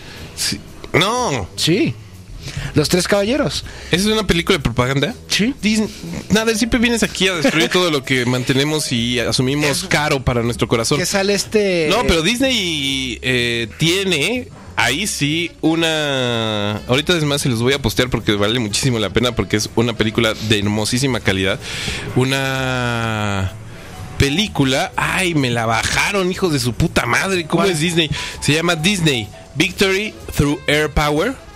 Que es una alabanza a la aviación eh, que eh, pues básicamente bombardeó Berlín durante la Segunda Guerra Mundial. El Escuadrón 201, que, que participó en la Segunda Guerra Mundial, que, bueno, no, no fueron muy agraciados, pero bueno, participaron, traía en, en- no sé cómo se le llama, al, al- en, en las salas pintado un dibujo del personaje que crea Disney en Los Tres Caballeros de México, que se llama Pancho Pistolas. Pancho Pistolas. Pancho Pistolas y también crea uno brasileño que se llama, creo que Pedro Carioca o Pepe, que es un, es un loro. Sí, el famoso olor. El mexicano es un gallo Ajá. un charro. Y la música también la hace Dora Luz. Y la animación es psicodélica a madres. Es impresionante esa película. Es un viaje psicodélico de LSD. Ahí está. Entonces, bueno, la, la conexión va a ser Dalí. Y Dalí, ay, bueno, se la pasa, por supuesto, en fiestas de cóctel, dignas de la música que estamos escuchando de fondo. Y conoce un personaje que curiosamente está exiliado en Europa. Dalí. Eh, Dalí, sí, Dalí con este personaje. Que ya hablamos, por ejemplo, Buñuel estaba en la lista negra. Tanto en España como en Estados Unidos. De hecho, él trabaja, cuando trabaja en el MoMA, es curioso, porque vamos a hablar de otro personaje más adelante. Este Buñuel trabaja en el MoMA de Nueva York, que lo corren creo que las dos semanas, porque empieza a mostrar su simpatía, no tanto comunista, sino republicana. Pero él es encargado de reeditar la película de El triunfo de la voluntad de Leni Riefenstahl. Bueno, que hemos hablado de esa. Que no lo utiliza por porque le guste, sino porque ven el potencial fílmico como Ajá. propaganda. Entonces eso se dedica este Buñuel a mostrar a la gente que asiste al, al Museo de Arte Moderno de Nueva York eh, el potencial fílmico de la propagandista, ¿no? Ahí está. Pero lo corren a Buñuel. El punto es que Buñuel estuvo en la lista negra en Estados Unidos. Claro. Eh, creo que el- sí, con este Edgar Allan Hoover y, y también con el senador Joseph McCarthy, ¿no? Que luego van a tener, pues se van a acusar mutuamente de, de comunistas entre ellos. Hay una película, por cierto, también de Joseph de este, de este Ed- Edgar Allan Hoover, que también actúa DiCaprio. Claro, se llama Hoover. Yo no lo he visto, pero pues, no sé cómo esté. Eh, bueno, por supuesto, este personaje que, da- que este eh, Dalí conoce, creo que en Roma, porque viví, este personaje que les vamos a hablar se acaba radicando en Suiza. Porque, tam- porque lo expulsan de Estados Unidos, aunque él era británico. Me refiero a Chaplin, por supuesto. Ah. Otro personaje que tampoco ganó un Oscar. También me. Al igual que Hitchcock. También señaladísimo por comunista. Otro británico, por supuesto, ¿no? Muy poca gente sabe, por ejemplo, mi querido Nader. Esta es una primicia para muchos, yo lo sé, que Chaplin es inglés. Sí. Chaplin es inglés y Chaplin no es judío. Porque Hitler pensa. Bueno, como lo, lo difama en el gran. Bueno, no lo difama. lo, lo- lo muestra tal cual es a Hitler en el gran dictador. Lo acusa de ser judío, pero no era judío. Tenía un medio hermano judío. ¿Cómo? Eh, creo que su madre. Tiene, creo tiene un romance con otro personaje. Ah, ok, ok, ok. Y tiene un medio hermano judío, pero Chaplin era pues, protestante. Eh, él comienza su carrera, por supuesto, en el, en el que es, sería el burlesque, lo más se le, se le puede llamar el vodevil. El vodevil. El vodevil, que era lo que en México sería el teatro de carpa, donde salieron personajes como Cantinflas o Tintán, que bueno, Cantinflas, por supuesto, imita muchísimo a Charles Chaplin, es indudable. Que Chaplin, el personaje famoso que desarrolla es The Trump. No, no The Trump, The Trump. Como el vago, el vagales, como el personaje. Sería como el pícaro. El vago. Sí, el básicamente. vago. O sea, este personaje que Chaplin no se lo pudo quitar en toda su carrera. Por más que lo, lo intentó hacer, no lo logró hacer. Eh, entonces, él comienza en cine mudo y, vive el tránsito del, de, al cine sonoro. De hecho, él tenía miedo de que sus películas pasaran de moda. Con el gran dictador como que la- la- lo logra salvar y posteriormente tiene otros ejemplos que son emblemáticos, pero su gran época fue el cine, el cine mudo, ¿no? Luces de la ciudad, ¿cómo se llama? El chico, ¿no? El El niño. chico, Eh, la fiebre del oro. La otra, la que sale con el perro, ¿cómo se llama? Tiempos modernos. Tiempos modernos. eh, luces de la ciudad. Luces de la luces ciudad. ciudad. Candilejas. Sí, o sea, igual para la audiencia de nuestro tiempo no es un cine tan... ¿Cómo llamarlo? No, pero se sostiene, ¿no? ¿Se sostiene? Se sostiene. Digo, evidentemente es blanco, inocente y hermoso. Sí. Pero. ¿Saben? Ahí la refer- una referencia muy bonita de Chaplin, por ejemplo, es que se busquen en YouTube. Ahorita lo buscamos. Híjole, es que estamos soltando tantas referencias. Sí. Me asustan a ver. ¿Sabes Me el horror asustan que a todas las cosas que este sepamos. video? Eh, pues mucha suerte, querido amigo. Mucha suerte porque sé que va a ser muy pesado. Eh, pero bueno, ahí va mi referencia mamalona del día de hoy, estilo... México es un país surrealista. Eh, es que busquen la primera vez que Chaplin sale en una película y es chistosísimo porque básicamente le dijeron, pues es que estamos firmando esta carrera de coches, tú haz algo. Ah, sí, sí, se pone en medio. Y entonces y se el, gira y el se da la ti- media el vuelta. tipo empieza a improvisar frente a la cámara y en realidad parece como un reportaje periodístico porque la película tal cual empieza con este güey como entre la multitud asomándose y reconociendo que hay una cámara ahí y empieza a hacer cositas así enfrente de la cámara, estilo estos videos que ustedes han visto continu- continuamente sobre eh, gente que se mete como a Sí, a las, a- a las a- escenas de los periodistas. Ah, sí, sí. Es tal cual eso. Y es divertidísimo, es extrañísimo y peligrosísimo porque el carnal se mete ahí entre los coches. eh, pasa un tranvía. Sí, creo, ¿no? sí, sí, no, es una loquera y de verdad vale mucho, mucho, mucho la pena y es de esas referencias que ustedes pueden utilizar, queridos amigos, para acotar su pedantería al decir, es que México es un país surrealista. Y las colecciones de Chaplin, creo que por ejemplo en esta, en la, en la Gandhi y en otras en otras librerías, eh, eh, creo que están en 100 pesos, traen como todas. Sí, aparte ya es patrimonio de la humanidad. Ustedes las pueden descargar y no los van a acusar de sí, ¿no? derechos de autor. Sí. Pero bueno, de hecho, Chaplin se casa en México, ¿Ah, ¿En serio? sí, y se divorcia en México. Pero no de la más misma, fácil, ¿no? No de la misma mujer. Así, así, Así pasa. Era un hombre inquieto de su sensualidad, ¿no? Lo que era la- lo que hoy en día eran Las Vegas, es- hoy en día son Las Vegas, previamente era la frontera mexicana, ¿no? Que era tierra de nadie. Ahí está, señoras y señores. Entonces, vamos a pasar a un personaje que ya no es tan conocido. Eh, A ver, entonces fue Buñuel. A ver si te acuerdas. Fue eh, Jean Cocteau. Sí. Fue Hitchcock. Sí. Fue Dalí. Sí. Fue Chaplin. Sí. Cinco personajes ya. Todos ellos muy extraños. Sí. Este personaje, bueno, Chaplin. Ah, no, me salté a Truffaut. Ah, François Truffaut. sí, Ahí está. Con Hitchcock. Ajá. Es la conexión con. Hitchcock. Este personaje del que vamos a hablar, tal vez no lo conozca tan, tan- la gente tanto. Pero bueno, conoce a Chaplin y ellos fundan un estudio que se llama United Artists. Ajá. Creo que todavía existe. Sí. O lo absorbió otro gran estudio. Sí, fue absorbido. eh, digamos, Artistas Unidos. Me refiero que es como lo, lo que ocurre con Lenny Riefenstahl. O sea, tú ves sus películas, son una obra de arte. Claro. Pero sabes que atrás de eso está el fascismo. Claro. bueno, el nacionalsocialismo. En este caso me refiero a D.W. Griffith. Ah, a ver, a ver. ¿Quién era el señor Griffith? ¿Han visto Intolerancia? Yo sí. o, sea, no- o sea, la película se llama Intolerancia, pero no tanto porque sea... No se refiere a la intolerancia, por ejemplo, de la sociedad gringa con una minoría, por ejemplo, con los afroestadounidenses. No, la intolerancia se refiere al gobierno gringo, la intolerancia que tenía con personajes como el clan. Ajá. O sea, D.W. Griffith es un personaje. Su papá era confederado. Ujú. O sea, no, no sé si general, pero un militar de la guerra, de la guerra civil estadounidense, ¿no? Una figura. Fíjate que el otro día me enteré que el premio más importante que puedes recibir como director en Estados Unidos Ajá. es un premio que lleva el nombre del señor Griffith. Sí. O sea, eh, D.W. Griffith se le acusó mucho. Sí se llama intolerancia, es la del Ku Klux Klan, ¿no? Es esa, que hay- esa es la segunda. Hay dos películas. Esa es la segunda que se llama Intolerancia, que es la respuesta después de un terrible escándalo al cual se vio involucrado este señor muy inocentemente con una película Es esa, famosísima es que esa. se llama El nacimiento de una Eh, nación. The Bird of a Nation. Ajá. Bird of a Nation, perdón, esa es la del clan. La de intolerancia es, tiene una de las escenas de- del cine favoritas para mí, que es la, la batalla en Babilonia. Ajá. Que es un escenario, es una ciudad, construye una ciudad Ujú. y se divide en varias partes, la de, la de, la de intolerancia, pero previamente en Bird of a Nation hay unas escenas que sale el clan marchando y es impresionante visualmente, o sea, es impresionante.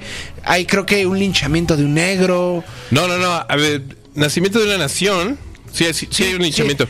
Es básicamente la historia desde la perspectiva del sur Sí. de la derrota tras la guerra civil norteamericana y de el descontrol entre comillas de la población negra que en- según la película y que según la historia también comenzó a acosar y atacar profundamente a pues muy merecidamente sus antiguos dueños Sí.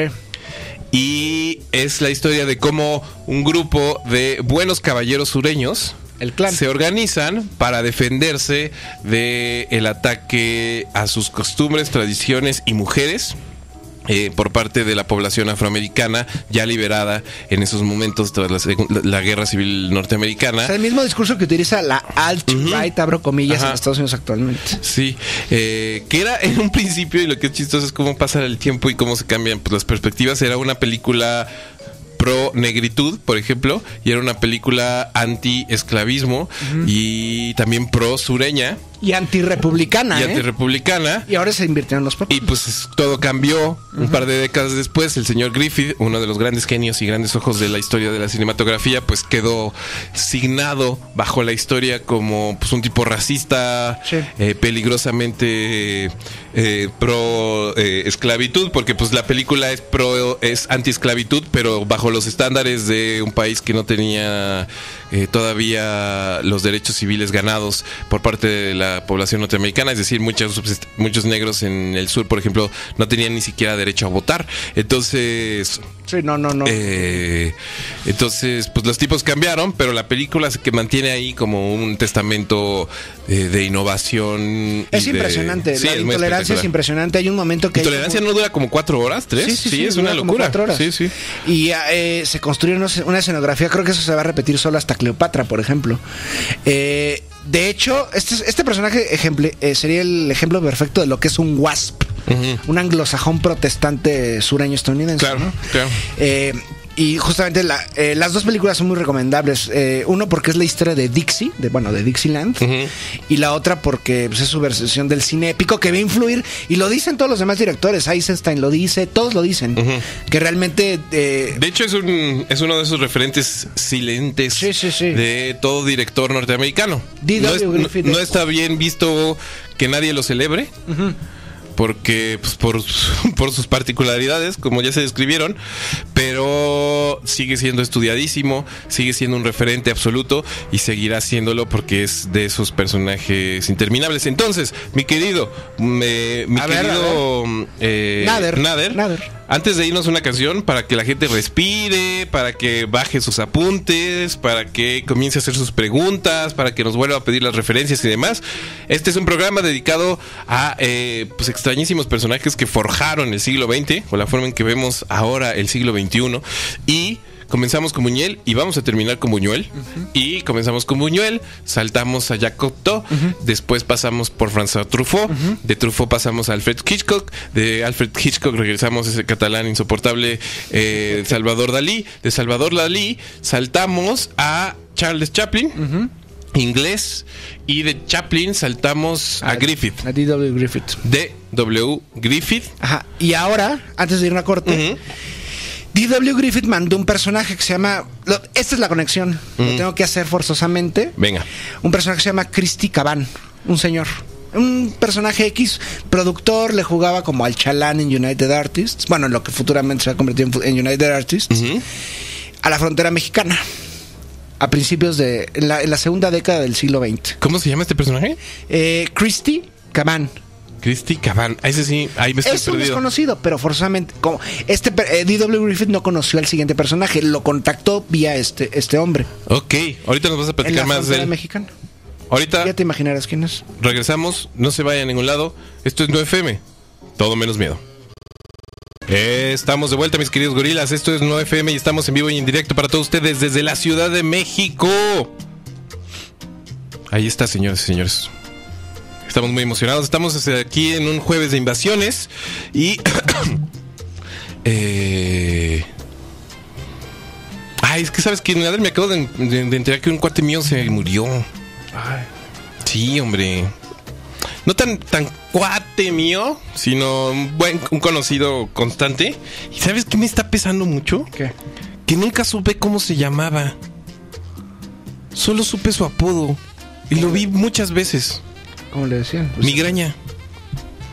oh, lo siento. Sí, qué pena, hombre. Un muy buen tipo. Pues muy locotrón. Eh, No sé, no sé qué haya pasado. Pero. Pero sí, aparentemente, mi querido amigo. Voy a investigar más. Sí me desconcertó mucho. Pues En fin. un homenaje a. Sí, un saludo a pues, toda la banda que ahorita. pues, un hombre muy querido por toda su camarilla. Eh, un abrazo a todos. Sabemos que, que va a ser un día bien extraño para todos ustedes. Para mí ya está haciéndolo. En particular por lo del nombre. Que es concertante, ¿no? ¿Cómo conoce uno gente que en realidad no conoce para nada? Pues son- La vida. Así pasa. Así pasa, mi querido Nader. Ni modo, así las cosas, pero pues un abrazo a toda la migrañada por ahí. Y, señores, señores, estamos dando un recorrido por el siglo XX. Por el siglo XX, rumbo al siglo XXI, o más bien como vemos y entendemos el siglo XXI, Sí. a partir de personajes excepcionales y muy drásticamente muy extraños y particulares. Empezamos en, Juan Bu- en Luis Buñuel y terminamos en, Lu- en Buñuel. Y hemos hecho un recorrido que a partido de Buñuel se trasladó a Jean Cocteau, Ajá. pasó a François Truffaut. Antoine de. Truffaut- Duanel. ¿Eh? Antoine Duanel. ¿Qué es, Ant- ¿Quién es Antoine Es el personaje de los 400. Ah, el niñini, el chiquitillo ese. Eh, de Truffaut pasó a Hitchcock, de Hitchcock pasó a Chaplin, de Chaplin pasó a D.W. Griffith y de Griffith pasó a un personaje extrañísimo que ahorita nos va a No, platicar. yo lo conocía. Se llamaba eh, Christy Caban.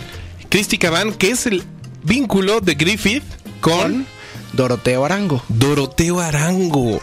¿Ustedes saben de quién estamos hablando? Pancho Villa, señoras y señores. Qué chistoso. eso sí me- no me lo esperaba. Es un giro muy dramático, mi querido amigo. Por cierto, me, decían que, pensaban que íbamos a hablar de Buster Keaton. Pensé en hablar de Buster Keaton, que tristemente ac- ac- acabó haciendo una película en México, ya cuando justamente no, no fue de los buenos supervivientes del cine del cine sonoro, ¿no? Y Buster Keaton eh, no, me, no me acuerdo cómo se llama la película, pero es mexicana. Y de hecho muchos actores acabaron así en México. Incluso hay, hay pocos que acabaron en la, en la buena época, en, en- todavía en su apogeo, ¿no? Y durante la época de oro del cine mexicano, eh, por ejemplo, Toshiro Mifune, Ujú. que sale en Animas Trujano, Sí, claro. que es eh, justamente entre películas de Kurosawa. Sí, llega, claro. llega a México, entonces es un ejemplo muy emblemático, ¿no? Pero bueno, eh, Doroteo Arango, eh, que son dos, son dos, son dos películas en las que sale. No me acuerdo si las dos son producidas por eh, D.W. Griffith o solo una. Pero D.W. Griffith tenía esta... Recordemos que él proviene de Dixieland, Ajá. Griffith, entonces como que tiene esa imagen del, del orden que el norte no puede ordenar al sur, ¿no? El, Ajá. el sur estadounidense. Y tiene como cierta admiración por Pancho Villa porque desafía al gobierno central de Estados Unidos, ¿no? Claro. Pues recordemos que Pancho Villa es el único personaje que ha invadido el suelo, el espacio territorial estadounidense. Ahí está. O sea, en Columbus, en Columbus, Texas. El famoso Columbus. Que la gente se ponía mientras estaban los la guerra entre Pancho Villa y las tropas y, y- y las tropas federales o los otros enemigos, la gente se ponía en los techos del lado gringo a ver cómo era la, la pelea y había balazos del otro lado y la gente Ah, ¿en serio? Sí, sí, sí, sí, sí. Qué raro. O sea, la gente con sus comía, comiendo y matándose mientras los mexicanos del otro lado. Porque a diferencia de lo que es ahorita la frontera México-Estados Unidos, antes no había nada. Cuando mucho en algunos en algunas partes había un alambre de púas y ya, era todo. Claro. Y durante años, la, la, el ejército estadounidense, bueno, no años, eh, varios meses estuvo buscando a, a Pancho Villa en, suelo mexicano. Se adentraron como 700 kilómetros en suelo mexicano y nunca lo lograron encontrar. Sí, sí, sí. Porque, pues, Pancho- Famosísima su, Sí. su huida por cuevas, eh, arroyos y diversos eh, pues accidentes geográficos y topográficos que el señor conocía a la perfección porque se había formado justamente en esas mismas barrancas. Sí, y, y nunca lo logran atrapar. Con un balazo aparte encima, Sí, ¿no? Traía ahí una, una pierna desconchinflada. No o se podía atender porque lo agarraban. Ajá, entonces- sí, sí. Pero bueno, eh, nunca pudieron con él los gringos. Bueno, hasta que más adelante lo matan los propios, sus propios enemigos en México. Pero en aquella. Como debe ser, maestro. En esta tierra, entre mexicanos nos, Nos matamos. matamos. Ahí está. Eh, pero ¿por qué es? A ver, a- ayer ya, justamente hace ratito ya hablé de la conexión que había entre Madero y Orson Welles. ¿Ok? Francisco y Madero, que por cierto, bueno, lo voy diciendo una vez, no es Indalecio, ¿eh? es Ignacio, creo. Ajá. Eh, el punto es que también hay una conexión, podría haber una conexión aquí, Orson Welles, Doroteo Arango, Pancho Villa. Porque en la hacienda donde vivía de, de joven, eh, Pancho Villa, había un personaje, un hacendado, Agustín López Negrete. Agustín López, Ne- Negrete. López Negrete. Agustín López Negrete, su hija era. Eh, perdón. Sí, sí, sí. Su, era, eh, su hija era Antonia López Negrete. Y la hija de esta mujer era Dolores del Río. Dolores del Río no era su, nom- era su nombre artístico. Ok. Ella era de López Negrete. Pero este hacendado, Agustín López Negrete, violó a la hermana de Pancho Villa. Y Pancho Villa lo mató. Lo mató. Ajá. Es una, es una relación para toda la vida, sin Ajá. duda alguna. Entonces, de hecho, ellos eran primos de Madero. O sea, la relación de Madero y Villa va más allá de, de, de rivales políticos en algún Ajá. momento. Bueno, de hecho, Pancho Villa eh, abraza la causa maderista, ¿no? O sea, llega un momento en que Madero cuando matan a, a- pues, bueno, cuando Villa, cuando matan a Madero, Ajá. Villa dec- decreta luto, luto nacional. Aunque no era muy agraciado porque Madero bueno, Villa le tenía un, un respeto muy particular Sí, a Madero. Aunque recordemos Él mismo pone la Sí. placa de, Made- de Madero en el centro. Sí, pero Madero, eh, a diferencia, bueno, ahorita nos vamos a entrar en eso, eh, pues se le levantan, porque después de que llega, eh, de que acaba con el, eh, bueno, de que llega a la presidencia, con, después sacará Porfirio, pues no cumple nada de las promesas, ¿no? por, lo, por lo menos la, la causa agraria no lo hace. Se le levanta, pues viene otra, otra segunda fase de la Revolución Mexicana. El punto es que, eh, obviamente, conoce Doroteo Arango, Pancho Villa, conoce a Madero. Ajá. Y ahí está la siguiente conexión. ¿Ok? Ahí está. Eh, y vamos a hablar de este madero. Ahí me voy a perder un poco porque son nombres que sí desconocía, ¿eh? ¿Cuál? O sea, el señor asesinado, Ah, sí, sí, sí. el de el- la conexión entre Griffith y eh, Pancho Villa. Iba, iba a agarrarla por Dolores del Río, porque Dolores del Río, tam- que de hecho vivía... eh, les voy a contar una historia rápido. Ajá. Mi tía trabajó con el hombre que ocupó la casa cuando fallece Dolores del Río. El que era jefe de una tía mía eh, ocupa la casa de Dolores del Río. El que era Jefe, de mi tía. De mi tía. tu tía se fue a vivir a casa de Dolores Sí, del Río. Que era este hombre, se llamaba Carlos Avedrop. Carlos Avedrop. Avedrop era Avedrop. el presidente del Banco del Atlántico. Ok. Y ocupa la casa de. eh, se llama La Escondida. Y está en la calle esta de Salvador Novo. Ahí en, Coya- en el centro de Coyacán. Sí. Que, de hecho dicen que está embrujadísima la casa. Pues esa casa no le hicieron una calle justamente para que pudiera entrar Dolores del Río. Sí, sí, sí, sí, sí. Es que yo creo que. ah, no, no nos tocó a ti, ni a ti ni a mí, obviamente, pero más o menos sabemos. Pero la gente no, no, tal vez no recuerda quién fue Dolores del Río. O sea, fue considerada la mujer más hermosa del mundo. Sí. O sea, los hombres se le aventaban a Dolores del Río. Orson Welles, entre ellos, que era de los hombres más famosos de Estados Unidos, eh, de los hombres más poderosos de la industria cinematográfica, y muchos otros. Entonces, bueno, el punto es que mm, Dolores del Río era, era sobrina de, lejana de Madero, y se refugia en la Ciudad de México a petición de Madero. Perdona, le, le piden a Madero que se refugie y ahí va la familia de Dolores del Río y a partir de eso va a empezar a forjar una carrera cinematográfica en las décadas venideras. Oh, mira. No tenía idea, maestro. Sí, entonces Madero es Ignacio, no Indalecio, ¿ok? Ok. Porque siempre está esa misteriosa I. Entonces, ¿qué sabe dónde surgió esa, ese mito? Ah, el Francisco y Madero. Sí, se decía que era Indalecio, pero no, No es, Ignacio. No lo había, no me lo había pensado, nunca me lo había preguntado. Entonces- Francisco Ignacio Madero. Entonces, previamente de que, de que muriera en la famosa decena trágica, Ajá. eh, Madero era, una, era un terrateniente, era una de las familias, la, familia de Madero era una de las cinco familias más ricas de todo el país, Ajá. junto a los Krill, los Limantur y otras. O sea, realmente cuando llega a la presidencia, lo hace porque tiene un poder adquisitivo impresionante, ¿no? Ajá. Estudia en Francia, estudia en Estados Unidos, y precisamente cuando estudia en Francia, que estaba en boga en esa época, a finales del 19, principios del 20, Ajá. que ya hemos hablado coincidentemente muchas veces de esto en este programa, desde, el- desde lo- los episodios de Rusia, el espiritismo, El espiritismo. la, espi- bueno, la espírita. el famosísimo Madero tenía Sí. una vena mística muy particular, ¿no? Increíblemente ninguno de, los ninguno de los espíritus que contactó le pudo le pudo Le pudo echar el le pitazo. echa- echar el pitazo le que iban a matar. Aguas, güey. Te va a matar el te va a matar el chacal.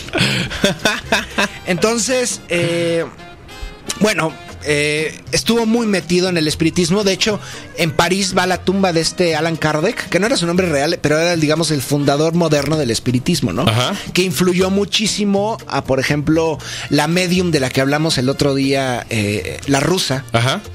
Eh, entonces, estaba en boga el espiritismo en todo el mundo. O sea, era, era un fenómeno. Se pensaba que iba a desplazar a las religiones tradicionales, porque esto ya es una religión.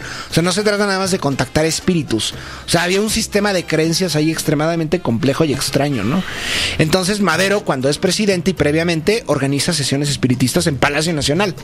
O sea, y había caricaturas, o sea, lo retrataban el Madero el loco que habla con fantasmas. Es, es verdad, es verdad. Solo busquen ahí un poquito. De hecho, creo él- que hay hasta fotos, ¿no? Sí, sí, sí. Él se hablando de hermanos, ya hablamos de gemelos, eh, no, no parásitos, pero el hermano de Dalí que se llamaba igual que, que Dalí, Ajá. también se llama Salvador. Vamos a hablar de los hermanos, el, el hermano y el primo eh, fallecidos de Madero se contactaban con él y mantenía largas conversaciones. De hecho, casi casi di- dicen que ellos, que los estos espíritus Ajá. organizaron su campaña electoral. O sea, fueron ellos quienes Sus asesores. sus asesores electorales. o sea, el punto es que Madero llega a la presidencia y es duramente criticado, por supuesto es asesinado, pero uno de los personajes con los que contacta Ajá. eh, también fue presidente de México, ¿Con quién? Benito Juárez. ¿Con Benito Juárez? Madero se supone que O sea, nuestra, conex- nuestra conexión de la personajes. siguiente conexión es vía espiritual. Está increíble. Entonces Madero eh, habla con un personaje que murió, eh, si no me equivoco, 40 años antes. Pues pero, más o menos. En los 70s, Más o creo menos. que del- A ver, para que la gente no se pierda, mi querido Nader, a partir de la conexión con Griffith, Ajá.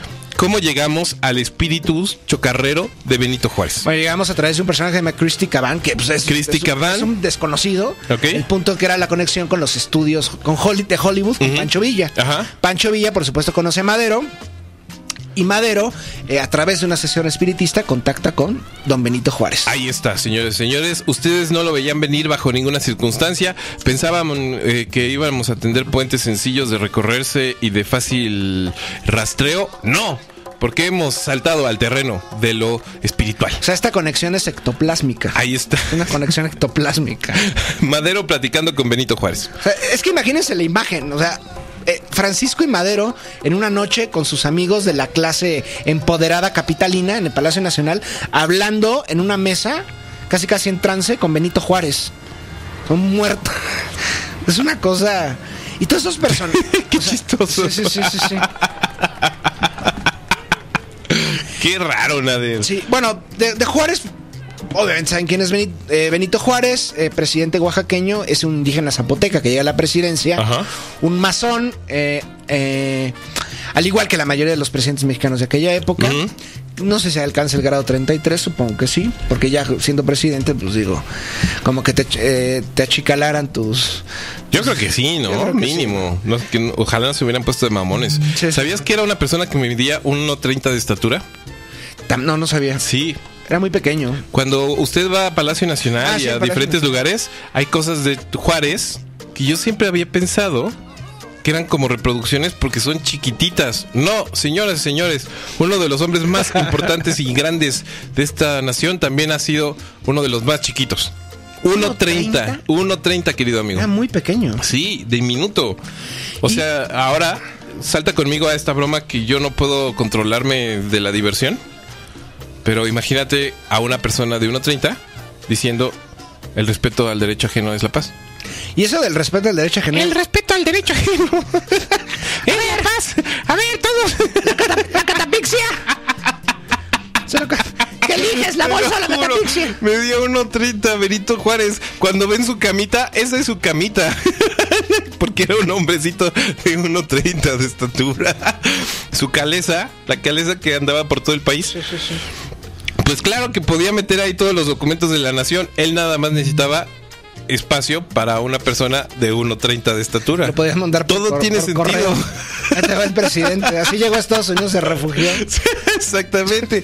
Pequeñas cajitas de Benito Juárez en las cuales viajaba cómodamente, eh, bien acondicionadas. De hecho, ahora que lo mencionas, ahí es súper, bueno, es muy, es muy ilustrativo visitar Palacio Nacional donde están los aposentos de Benito Juárez, porque hay unas cosas, bueno, por ejemplo, hay una carreola, hay, hay- hay un cuarto donde hay una carreola con, creo que dormía, supongo que uno de, uno de los retoños de Benito O Juárez. él mismo.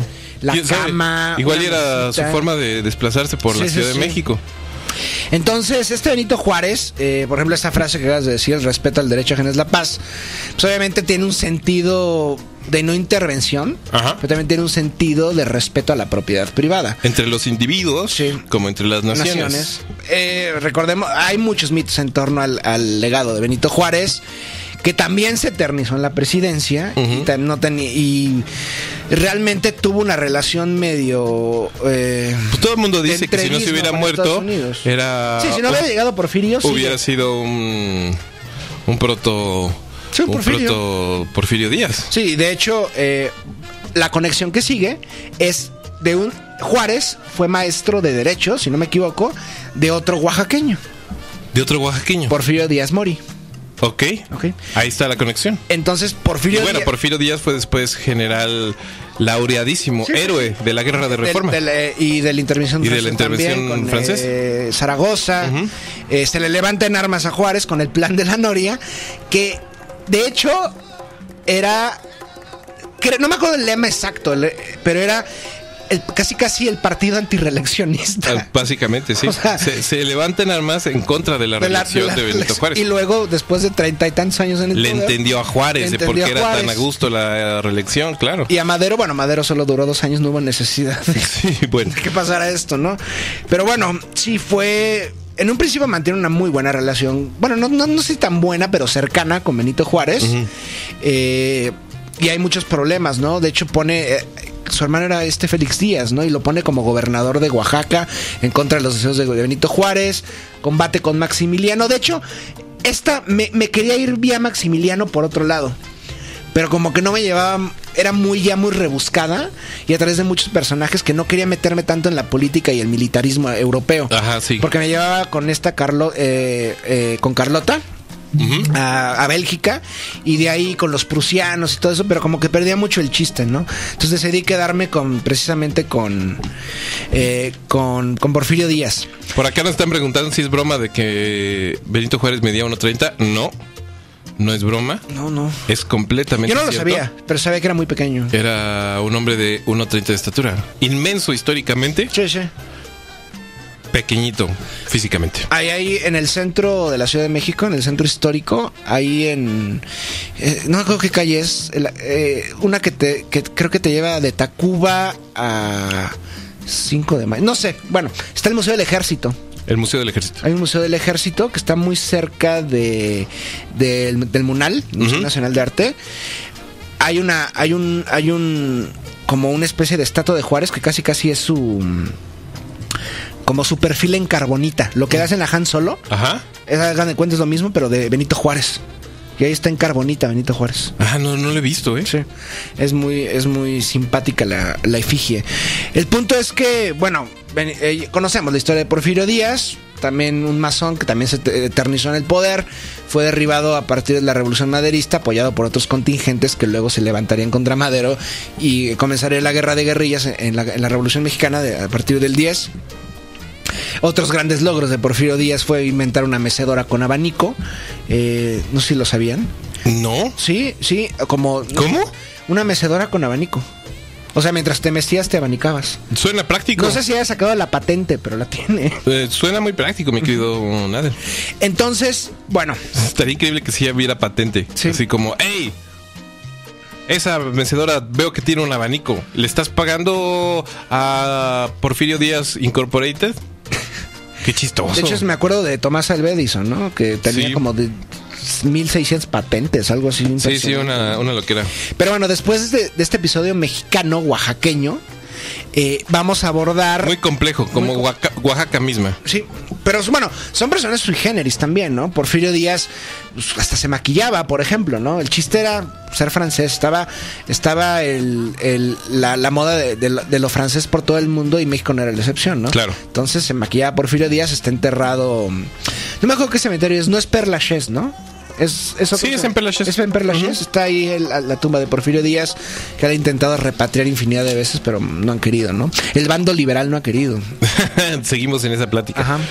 Entonces, bueno, hay un personaje que se llama Don Jesús Medina, Don Jesús Medina. que supuestamente pertenece a la familia esta de los de los duques de Medina Sidonia, que tienen su raigambre también en México, pero es como un personaje muy oscuro, nadie, nadie sabe quién es.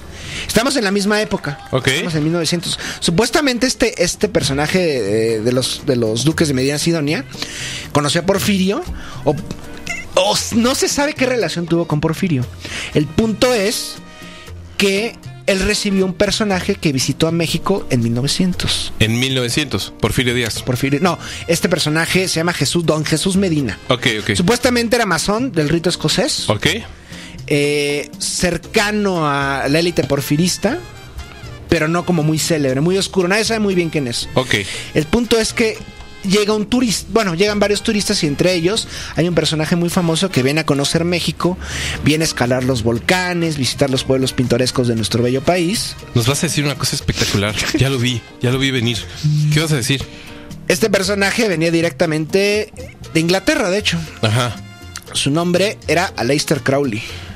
¡No! Sí. ¡Qué salto! ¿Qué? Crowley estuvo en México. No puede ser. Sí, llega ¿En mil- serio? Llega en 1900. ¡Carajo! Y supuestamente Elena Blavatsky, que era esta medium teósofa rusa del, del siglo, del siglo antepasado, también estuvo en México en el siglo XIX. Pero concretamente Aleister Crowley estuvo aquí en estuvo México. en México. Eh, llega, bueno, como, como turista, eh, pertenecía a una, lo- no, no, una logia, creo que era de, de distinto rito. Pero el punto es que estaba en su eterna búsqueda de conocimiento. Claro. O sea, bueno, era- a ver, ¿quién es Crowley, Bueno, mi querido? Crowley, para que no lo sepa, pues es el gran mago negro. Ajá. Es tal vez uno de los... Yo creo que de entre todos los que estamos hablando es el más demente. Es- y, Este y- sí está- y ya eh, eso es mucho decirse. Ya ni siquiera de... O sea, no creo que demente. Más bien eh, violento. O sea, Era un hombre muy desbalanceado. Era muy- un hombre muy inteligente, pero sí era violento. Se le atribuyen incluso... Ah, por acá nos está aclarando Fabi que no, que Porfirio Díaz no está en Perlaches, está en Montparnasse. En Montparnasse, ¿ya ves? Montparnasse, Montparnasse. Sí, y es bien triste, por bueno, digo, también fue un genocidio, bueno, un genocidio, tuvo ge- su cuota de genocidios, Ajá. eh, pero pues está la, la tumba con el águila, el águila mexicana, en un mausoleo, y ahí tiene una banderita mexicana, y pues es todo, ¿no? Pues ahí está. Entonces, es lo que más ha querido repatriar el penacho de Moctezuma y el cadáver de Porfirio Díaz. Y ninguno se ha logrado. Los dos se pueden deshacer con el ambiente. Sí, sí. Entonces, eh, estamos con Aleister Crowley, llega en Bueno. Llega en, en- en 1900 llega a la Ciudad de México, eh, perdón, al país, eh, visita sitios como eh, Tepoztlán, eh, los volcanes, asciende a los volcanes, eh, busca eh, este personaje, Aleister Crowley, era extremadamente raro porque lo que quería hacer era, digamos, encontrar el, el como el conocimiento gnóstico perdido en los anales mexicanos. Entonces está buscando el camino de Quetzalcoatl. Es una cosa muy rara. Es un, está inmerso en el pensamiento sincrético. De hecho, él pertenece a una... eh, bueno, en México él funda una orden. Una orden secreta ya alejado de la masonería que se llama la Orden de la Lámpara Invisible. Que no pega mucho, pero previamente había pertenecido a otra orden que se llamaba Aurora Dorada, Golden Dawn, Ajá. Aleister Crowley. Sí, claro. Eh, entonces, en sus andares y venires por, la- por el país mexicano, eh, va a Tepoztlán, porque pues, era un ser, una, había fuerzas telúricas, Que le llamaban. le, le llamaban, y bueno, y todavía, ¿no? Pues es un paraíso, un alternativo, ¿no? Ajá, sí, más o menos. De hecho, si hubiera existido Valle de Bravo en ese, bueno, ya existía Valle de Bravo, pero todavía no era una, no era un epicentro del hipismo de alto poder adquisitivo, hubiera ido sin duda a Valle de Bravo, a Lester Ajá. Crowley.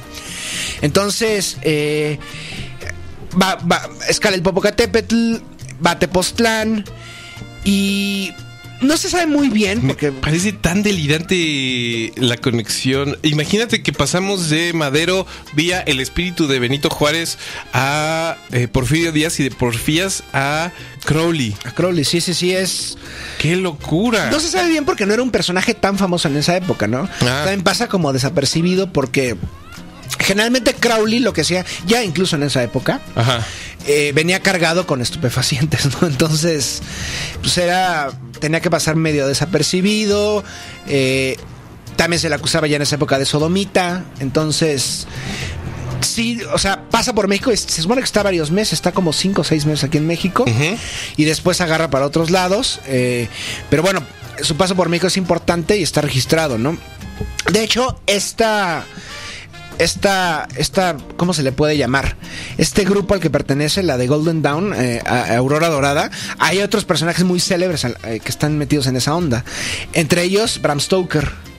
El de novelista irlandés, tremendo histórico alcohólico, eh, creador del personaje, bueno, no creador, pero Sí. el, uno de los grandes artífices de lo que entendemos ahora actualmente por la palabra Drácula. De hecho, me iba a ir por ahí y también ahí, ahí hay muchas conexiones muy Qué bonita novela es esa, ¿no? Sí, es extrañísima. Drácula. Sí, Drácula es, es- Pero la, la, la original, por Sí, sí, supuesto, sí. porque ya hay muchas. eh, No, no, no, estoy hablando de Drácula Sí. firmada por Bram Stoker. Por- eh, este.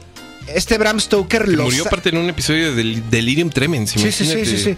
Esta generación estaba eh, ya en los últimos días de la época victoriana estaba ya muy. Muy para allá que para acá. Sí, sí, sí. eh, eh, de hecho, en Golden Dawn también está este Sir Arthur Conan Doyle, del cual vamos a hablar en unos momentos. Eh, Madame Blavatsky estuvo metida en algún, fue una de las órdenes que funda, junto con Telema. En fin, fue una, un grupo muy, digamos, eh, muy redituable en cuanto al ámbito espiritista, paranormal, etcétera, ¿no? Y bueno, más tarde, en, los- en las décadas venideras, Crowley se volver famoso por todo lo que comenzó haciendo en, pues, en Boleskine House, por ejemplo, ahí en las orillas del lago Ness, en Escocia. Y sí es uno de los personajes más emblemáticos del siglo, del siglo XX. eh, muy, muy demonizado. Bueno, es que no, no, sí era sí, eh, demonizado con mucho sentido. Pero bueno, vamos a hacer otra conexión con otro personaje. El siguiente no visitó México, pero también es como extremadamente emblemático. Aleister Crowley y el personaje que vamos a hablar nunca se conocieron, Ajá. pero estuvieron, dicen, a metros. ¿Cómo funciona eso? O sea, estuvieron a metros y nunca se conocieron. Ah, los personajes que vas a mencionar ahorita, la conexión. Sí, la conexión. Ok, ok. Ellos se conocen por, por la pareja del siguiente personaje que se llamaba Sonia Green, Sonia Green. una judía estadounidense. Ujú. Que no sé cómo siendo judía se pudo casar con el siguiente personaje, pero se eh, mantuvo una relación con él, ¿no? Eh, H.P. Lovecraft. ¿What? Sí. Nunca. ¿Lovecraft se casó? eh, no, perdón, mantuvo un noviazgo, casi, casi casamiento con, Ah. esta, con esta mujer. Eh, la conoce creo que en Rhode Island, ahí estuvo siempre. De hecho, Lovecraft nunca sale de esa zona, ¿no? Nunca sale en la costa este de Estados Unidos, de la zona de Massachusetts. Es verdad, Nader. Sí, sí. Pensé que Lovecraft había sido un insoportable y viscoso ¿Sí virgencito toda la vida. No sé si se casó, pero sé que tuvo una relación con. Bueno, también imagínate qué tipo de relación tuvo. porque, Bueno, sí, claro. o sea, ¿What? ¡Qué locura! Lovecraft, por, por supuesto, eh, esto no se ha- nunca se ha logrado confirmar. Hay rumores de que Sonia Green conocía mucha de la. No, no, no, sí estuvo casada con él, ¿eh? No, no, no. ¿Así estuvo casada? Sí, sí, sí. De hecho, su nombre ya fina- al final de sus días era Sonia Haft Green Lovecraft Ah, entonces. Davis. ¡Qué locura! No lo sabía, Nader. No lo sabía. Me irrita profundamente. Lo Lovecraft hubiera, es de eh, mis autores favoritos, por cierto. ah, yo casi no lo he leído. Más bien es una, es una personalidad que tengo por aquí, por allá, eh, en el ideario. Porque tengo grandes amigos que son grandes aficionados a Lovecraft. Sí. Y más bien lo que me interesa de Lovecraft es su extrañísima personalidad eh, y pues su, su racismo muy profundo y acendrado. Sí. Es que no era racismo, ese es el punto. Es No. una cosa rarísima. O sea, si es. Sí, era Si he leído la obra de Lovecraft, dilo, era dilo por su nombre. Ok, Nader. era racismo, pero un racismo muy extraño. Sí, sí, como todo es este que él era anglófilo. ¿Era qué? Anglófilo. Anglófilo. O sea, le- él le rendía culto a los padres fundadores gringos, Ajá. a Washington, Adams, a Jefferson, etcétera. Franklin. Como debe ser. como Grandes debe personajes, ser. mi querido amigo. Y, y- y él consideraba que Estados Unidos había perdido el carácter británico. O sea, debía mantener una conexión con Gran Bretaña. Ajá. Por eso también, tampoco nunca se mueve de la zona de, de Rhode Island en Massachusetts. Ajá. Porque era la zona, bueno, Nueva Inglaterra, valga la redundancia. Eh, entonces él era anglófilo, por ejemplo, él de, toleraba a los judíos, pero detestaba a los alemanes. ¿O sea, entiendes? Por eso digo que era un racismo muy raro. No, pero era súper antisemita también Sí, Lovecraft, ¿no? Pero se casó con Sonia Green. Ah, ¿Cómo funciona eso? O sea, él aceptaba, él casi casi aceptaba, o sea, lo, lo digo en serio con esas palabras, que entre comillas que era una de, una raza probablemente inferior, pero la quería. Ahí está. A su manera, porque yo creo que este personaje era sexual. Sí, yo creo que sí, lo era. ten- tenía una vida erótica, pues muy personal, ¿no? Muy personal. Sí. Wow, no puedo creer, estoy completamente anonadado, no puedo creer que hayamos pasado de Benito Juárez A Lovecraft. a Lovecraft. Es una locura. Sí. Eh, Pero entonces Crowley y Lovecraft coincidieron, pe- más no se, no se conocieron. conocieron. Supu- es que nunca, nunca se logró confirmar esto. Supuestamente Sonia Green se reúne con unos escritores, creo que en Nueva York, Ajá. y ahí está Leicester Crowley. Ah. Y como que lo conoce de repente, y ya, en esta época ya se sabía quién era, lo- quién era Crowley, ¿no? O sea, la gente se alejaba de Crowley porque pues, sol- solía traer muchos problemas, no nada más eh, entre grupos eh, de amigos, sino también incluso con la ley, ¿no? Entonces, de hecho, Lovecraft nunca, nunca sale de esta zona. De hecho, se le atribuye casi casi que él sea el heredero, tal vez no de la obra literaria de Edgar Allan Poe, pero sí eh, ¿cómo llamarlo? Pues pasó también desapercibido. O sea, creo, eh, eh, Lovecraft acabó escribiendo siempre en pulp. Ajá. Por lo general, es, no tuvo un gran éxito literario. O sea, siempre estuvo en revistas, en pasquines, uno que otro. Y hasta la, a, a la postre es cuando ya lo toman en cuenta, ¿no? Y se convierte en, la- en lo que son, en lo que soy. Pero bueno, eh, pues puedo hablar, por ejemplo, mi- una de mis novelas favoritas es En las montañas de la locura. No sé Sí. si la han leído, es fascinante, o sea, es... Sin meterte tanto en la, en, en la, mitu- en la mitología de los Shogot y de Cthulhu, ahí más o menos puedes como vislumbrar toda la idea de, de Lovecraft inc- y incluso ya sus ideas filosóficas, que es el cosmicismo. O sea, el cosmicismo es como una especie de, de idea del ateísmo, pero negativo, en el sentido de que existen, el universo es ajeno y antagónico al ser humano, y que el ser humano no existe casi casi. O sea, el ser humano es una cosa más como cualquier otra en el universo. O sea, no es nada, no es, no es algo primordial para el universo, no es nada, a fin de cuentas, ¿no? Entonces, a partir de ese concepto, justamente desarrolla toda su obra eh, Lovecraft. Ahí está. ¿Ok? Entonces, pues, ¿qué recomendaciones les puedo, les puedo dar de Lovecraft? Eh, el caso de Charles Dex- Dexter Ward, eh, La llamada de Cthulhu, Eh, de hecho, hace unos como cinco años fui a ver a la cineteca, no más, como siete, ocho años fui a ver a la cineteca una película que se llama Die Farbe. Die Farbe, es alemana. Ajá. Que, que se basa en, en- en el, creo que es cuento largo que se llama The Color of Space, el color del espacio. Ok. Es toda blanco y negro, pero solamente cuando sale un color que se supone que en la, no- en la novela solo ese color es diferente a todo lo que se conoce. Ajá. O sea, de hecho no, no se podría expresar porque es un color distinto. Y es lo único que aparece a color en esa película. Ok. Y es una de las mejores adaptaciones de Lovecraft hasta la fecha. Ajá, ok. Se las recomiendo mucho. De hecho, o sea, inventó la, toda la mitología que creó Lovecraft. No nada más se reduce a, justamente a los dioses ancestrales o a los primordiales. También se, se va, por ejemplo, salud. Se va a, por ejemplo, a, la- a la- a locaciones geográficas, ¿no? Por ejemplo, la Universidad de Miskatonic. La Universidad de Miskatonic es una universidad que inventa Lovecraft. Y hay gente que cree que Miskatonic existe. El pueblo de Arkham. El pueblo Arkham. Arkham. Luego lo, va a lo van a utilizar Ah, en en, Batman, Batman. Pero originalmente es de Lovecraft. Ok. En Dunwich, por ejemplo. Sí te gusta mucho Lovecraft. Me encanta Lovecraft. Ya veo. Sí, o sea, y hay que. mm, Es inseparable su obra literaria de su pensamiento, ¿no? Sin duda. Y sí, pues era un racista, era muy clasista también, un elitista. Aunque estaba viviendo en la pobreza absoluta, era un elitista que vivía con sus tías, entre. con, con seis mujeres vivía Lovecraft, sus familiares. Ajá. Entonces, sí, la obra de, de H.P. Lovecraft es emblemática. Y lo vamos a conectar con otro personaje extremadamente sui generis del siglo pasado. Eh, ¿Te acuerdas cómo va, cómo va, cómo vamos, vamos en? A ver, te puedo conexión? decir hasta. México. En México me voy a perder un poquito, pero ahí te va. Buñuel, Ajá. Cocteau, Truffaut, Hitchcock, Chaplin, Griffith. Eh, Griffith, hay un personaje ahí después, que era quién? De- eh, el, el chalán de Griffith. El chalán de Griffith. Doroteo Arango, también conocido como Pancho, Pancho Villa. Villa. Madero. Sí. Benito Juárez vía espect- conexión espectral. Ajá. De Benito Juárez a Porfirio Díaz. En trato directo.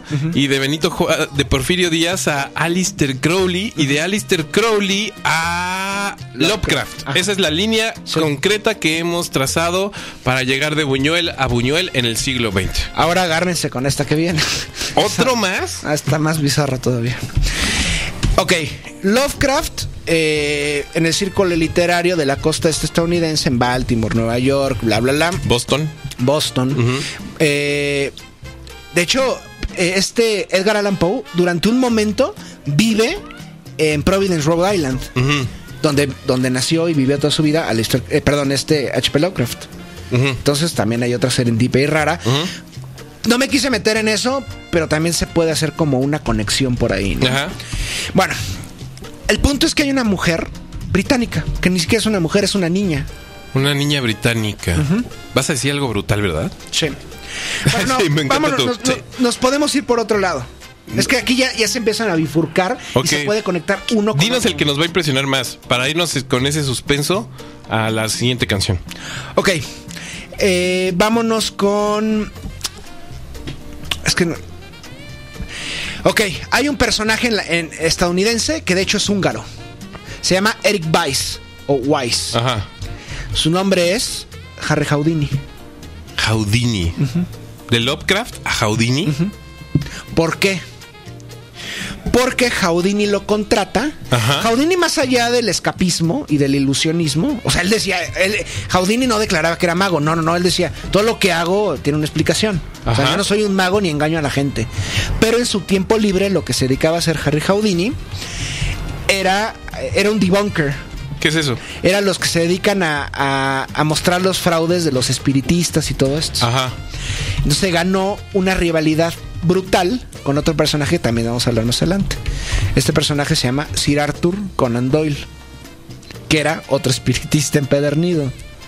Verga. Entonces, Harry Houdini contrata a H.P. Lovecraft para que Houdini contrató a a. Lovecraft para que escribiera un libro sobre el, el fraude del espiritismo. Y encantado, porque Lovecraft detestaba todos esos engaños también, escribe el libro, pero Houdini muere antes de que, de que pudiera publicarse. ¿Ok? ¿Van, van siguiendo todo esto? Sí, ¿y quién era la niña? Ahorita voy a llegar a la niña. A la niña. Ajá. El punto es que este eh, Harry Houdini, eh, para quien no lo sepa, era un inmigrante húngaro de Estados Unidos que se cobró fama mundial, incluso llegó a hacer películas, se convirtió en una estrella de cine porque pues, era el escapismo y su- está muy, también muy vinculado al burlesque, más allá en el burlesque, en el vodevil y todo esto, además de actuaciones y de actores y shows de comedia, también había, bueno, algo más feo, shows de fenómenos, por ejemplo. Ajá, Por freak ejemplo, shows. ¿Sabes qué podemos hablar? Ah, Vean Freaks. Freaks. Vean Freaks también es una película recomendable, muy muy extraña por cierto. Entonces Houdini eh, se volvió tan famoso que probablemente era la celebridad más importante de Estados Unidos, ¿no? Entonces, eh, este, este personaje, eh, Houdini contrata a Lovecraft para que destruya por completo la reputación de Sir Arthur Conan Doyle. ¿Quién es Sir Arthur Conan Doyle? Aquí estamos haciendo una conexión de tres personas, ¿ok? Ok. Sir Arthur Y hay Con- una niña ahí pendiente, ¿no? Ahorita, hay Ok, una niña- ok. ahorita vamos a ir a la niña. Sir Arthur Conan Doyle es el, el creador de Sherlock Holmes, Básicamente. básicamente. Básicamente. O sea, tal vez Sir Arthur Conan Doyle junto con, eh, junto con Agatha Christie sean los novelistas de misterio más famosos de la historia. Pues así Sin bajita duda. la mano, ¿no? Y también busqué meter a Agatha Christie, pero ya era muy rebuscado todavía. Entonces, O nada más, un poquito más rebuscado de lo. Ya pa- mi querido Nader, no entiendo por qué tendrías reparos si ya pasamos vía conexión trascendental de una plática que tuvo Francisco y Madero y Benito Juárez. ajá. Gracias a esa plática estamos ahora sentados en Boston en la misma mesa junto a Houdini, Sherlock Holmes y Lovecraft. Entonces, Qué raro. ¿Y la niña quién es? Ahora sí ya estoy lleno de intriga. Ahí te va. En su tiempo libre, a bueno, ya dijimos lo que hacía Harry Houdini en su tiempo libre. Ajá. ¿Qué hacía Sir Arthur Conan Doyle en su tiempo libre? Más allá de hacer sesiones espiritistas. Era muy cocainómano. Sí, también tenía otras, otros pasatiempos. Por ejemplo, el misterio le llamaba. ¿Y qué se dedicó? bueno, Lo planteas de manera muy hermosa. el punto es que hay, hay, un, hay un famoso caso llamado el hombre de Piltdown. El hombre de Piltdown fue un fraude que hicieron a principios del siglo XX con unos huesos. Juntaron la cabeza, bueno, el cráneo de un ser humano, la mandíbula, si no me equivoco, de un orangután y unos dientes de chimpancé. Ajá. Entonces le encontraron en Gran Bretaña, en Piltdown, y aseguraban que era el eslabón perdido. Ajá. Y como estaba en la fiebre darwinista, de hecho, muchos de estos personajes pertenecieron a la, a la corriente eugenésica. Ajá. La, la eugenesia, ya le hemos hablado, que es, bueno, es, digamos, el darwinismo social. Ajá. El punto es que en el caso del hombre de Piltdown, supuestamente lo fue a investigar Sir Arthur Conan Doyle. Ajá. Y cuando se descubre que es un fraude, muchos le achacan a Sir Arthur Conan Doyle que él fue el que planeó todo esto. Ajá. No se sabe quién fue. Hay otro personaje que se llama Pierre Teilhard de Chardin, Ajá. que es muy famoso. Fue un monje, no, un cura, no recuerdo de qué orden. Eh, pero que también está, era, era de- eh, fue el que, digamos, provocó que el Vaticano aceptara la teoría de la evolución. Ajá. ¿Ok? Pero también se le atribuye que este personaje pudo haber hecho el fraude. Ok. Ok, este fue uno de los grandes fraudes, pero hubo otro fraude que también estuvo metido Sir Arthur Conan Doyle, en el que había una niña llamada Elsie Wright. Elsie Wright. ¿Quién es Elsie Wright? Bueno, de pronto en Gran Bretaña, más o menos en 1911, algo así, se puso de moda las hadas. Ajá. Resulta que dos niñas en un pueblo, creo que en Sheffield, en Gran. Bretaña, Ay, no puede ser. ¿Vas a hablar de eso? Ajá. Es delirante. Claro. Esto sí es delirante. Las fotografías esas. Ajá. unas niñas, supuestamente, hay una película que se llama Photographing Fairies, es muy recomendable, es muy buena Sí, película. Sí, sí, sí. Y el caso es. No Sí. es chistoso, es muy co- sobrecogedor. Sí, salió a la luz que una niña, que esta, esta Elsie Wright no, no era, no tenía, no era una niña tampoco, tenía 16 años. La otra niña era, tenía 10 años. Ajá. Pero, bueno, sa- salieron unas fotos a la luz que salían con hadas. Ajá. O sea, tal cual, hadas. Sí, volando co- como campanita. Sí, sí. Eh, también podríamos hablar luego del autor de Campanita y Peter Pan, que también es otra historia es muy un- bizarra. otro loquillo. Ajá, entonces, supuestamente, quien patrocinó a estas niñas, o por lo menos quien aceptó el fraude, Ajá. eh, aunque se sabía que era un fraude, porque bueno, estamos hablando, ya no, ya no está, una cosa es el, el eslabón perdido y otra cosa un nada. Ajá. Entonces, Sir Arthur Conan Doyle también estuvo metido en eso, ¿no? ¿También? Sí, las entrevistó, dijo que era verdad. Las publicitó a las niñas, las hizo célebres a través de Sir Arthur Conan Doyle, que ya era famoso. Pues era Sir Arthur Conan Doyle a través de la creación de Sherlock Holmes, ¿no? Ahí está. Ok, entonces, vamos a dar un salto de una, dos, tres, siete décadas. ¿Cómo lo vamos a hacer? Esta niña, Elsie Wright, luego sería entrevistada en un programa producido y cuyos guiones a veces eran intervenidos por una persona que le rendía, el título del programa le rendió honor. Se llamaba El mundo misterioso de Arthur C. Clarke. No puede ser. Ya llegamos a. no. ¿En serio salió eso? Sí. ¿Te acuerdas que una vez cuando empezamos a hablar de Rusia hablamos del incidente de Tunguska? Claro. Bueno, hablamos de un, co- de, de un, de un meteorito, un cometa que se estrelló en la zona de Tunguska, en Siberia Ajá. Oriental, nadie sabe qué fue. Ese fue un capítulo. Creo que el capítulo siguiente, uno de esos, es justamente del caso de las, de las hadas de, de Sheffield. Y entrevistan a esta niña ya octogenaria, Ajá. Elsie Wright, le entrevistan en el programa de Arthur C. Clarke. Y ahí lo dejamos. Ahí lo Dame un segundo. Necesitamos todos respirar. Tenemos un montón de comunicaciones. Entonces, ahora sí, regresando, eh, entramos directamente en toda su conversación, mis queridos gorilas. Muchísimas gracias a toda la gente que se está comunicando. Todo el mundo está muy entusiasta. Eh, se entiende, la verdad es que están pasando cosas muy. Muy brutales, la verdad, muy brutales aquí en cabina, entonces estamos muy contentos. Mientras tanto, vámonos con música para darnos un respiro, ir al baño, lo que sea que ustedes tengan que hacer, y regresamos en un segundo. Esto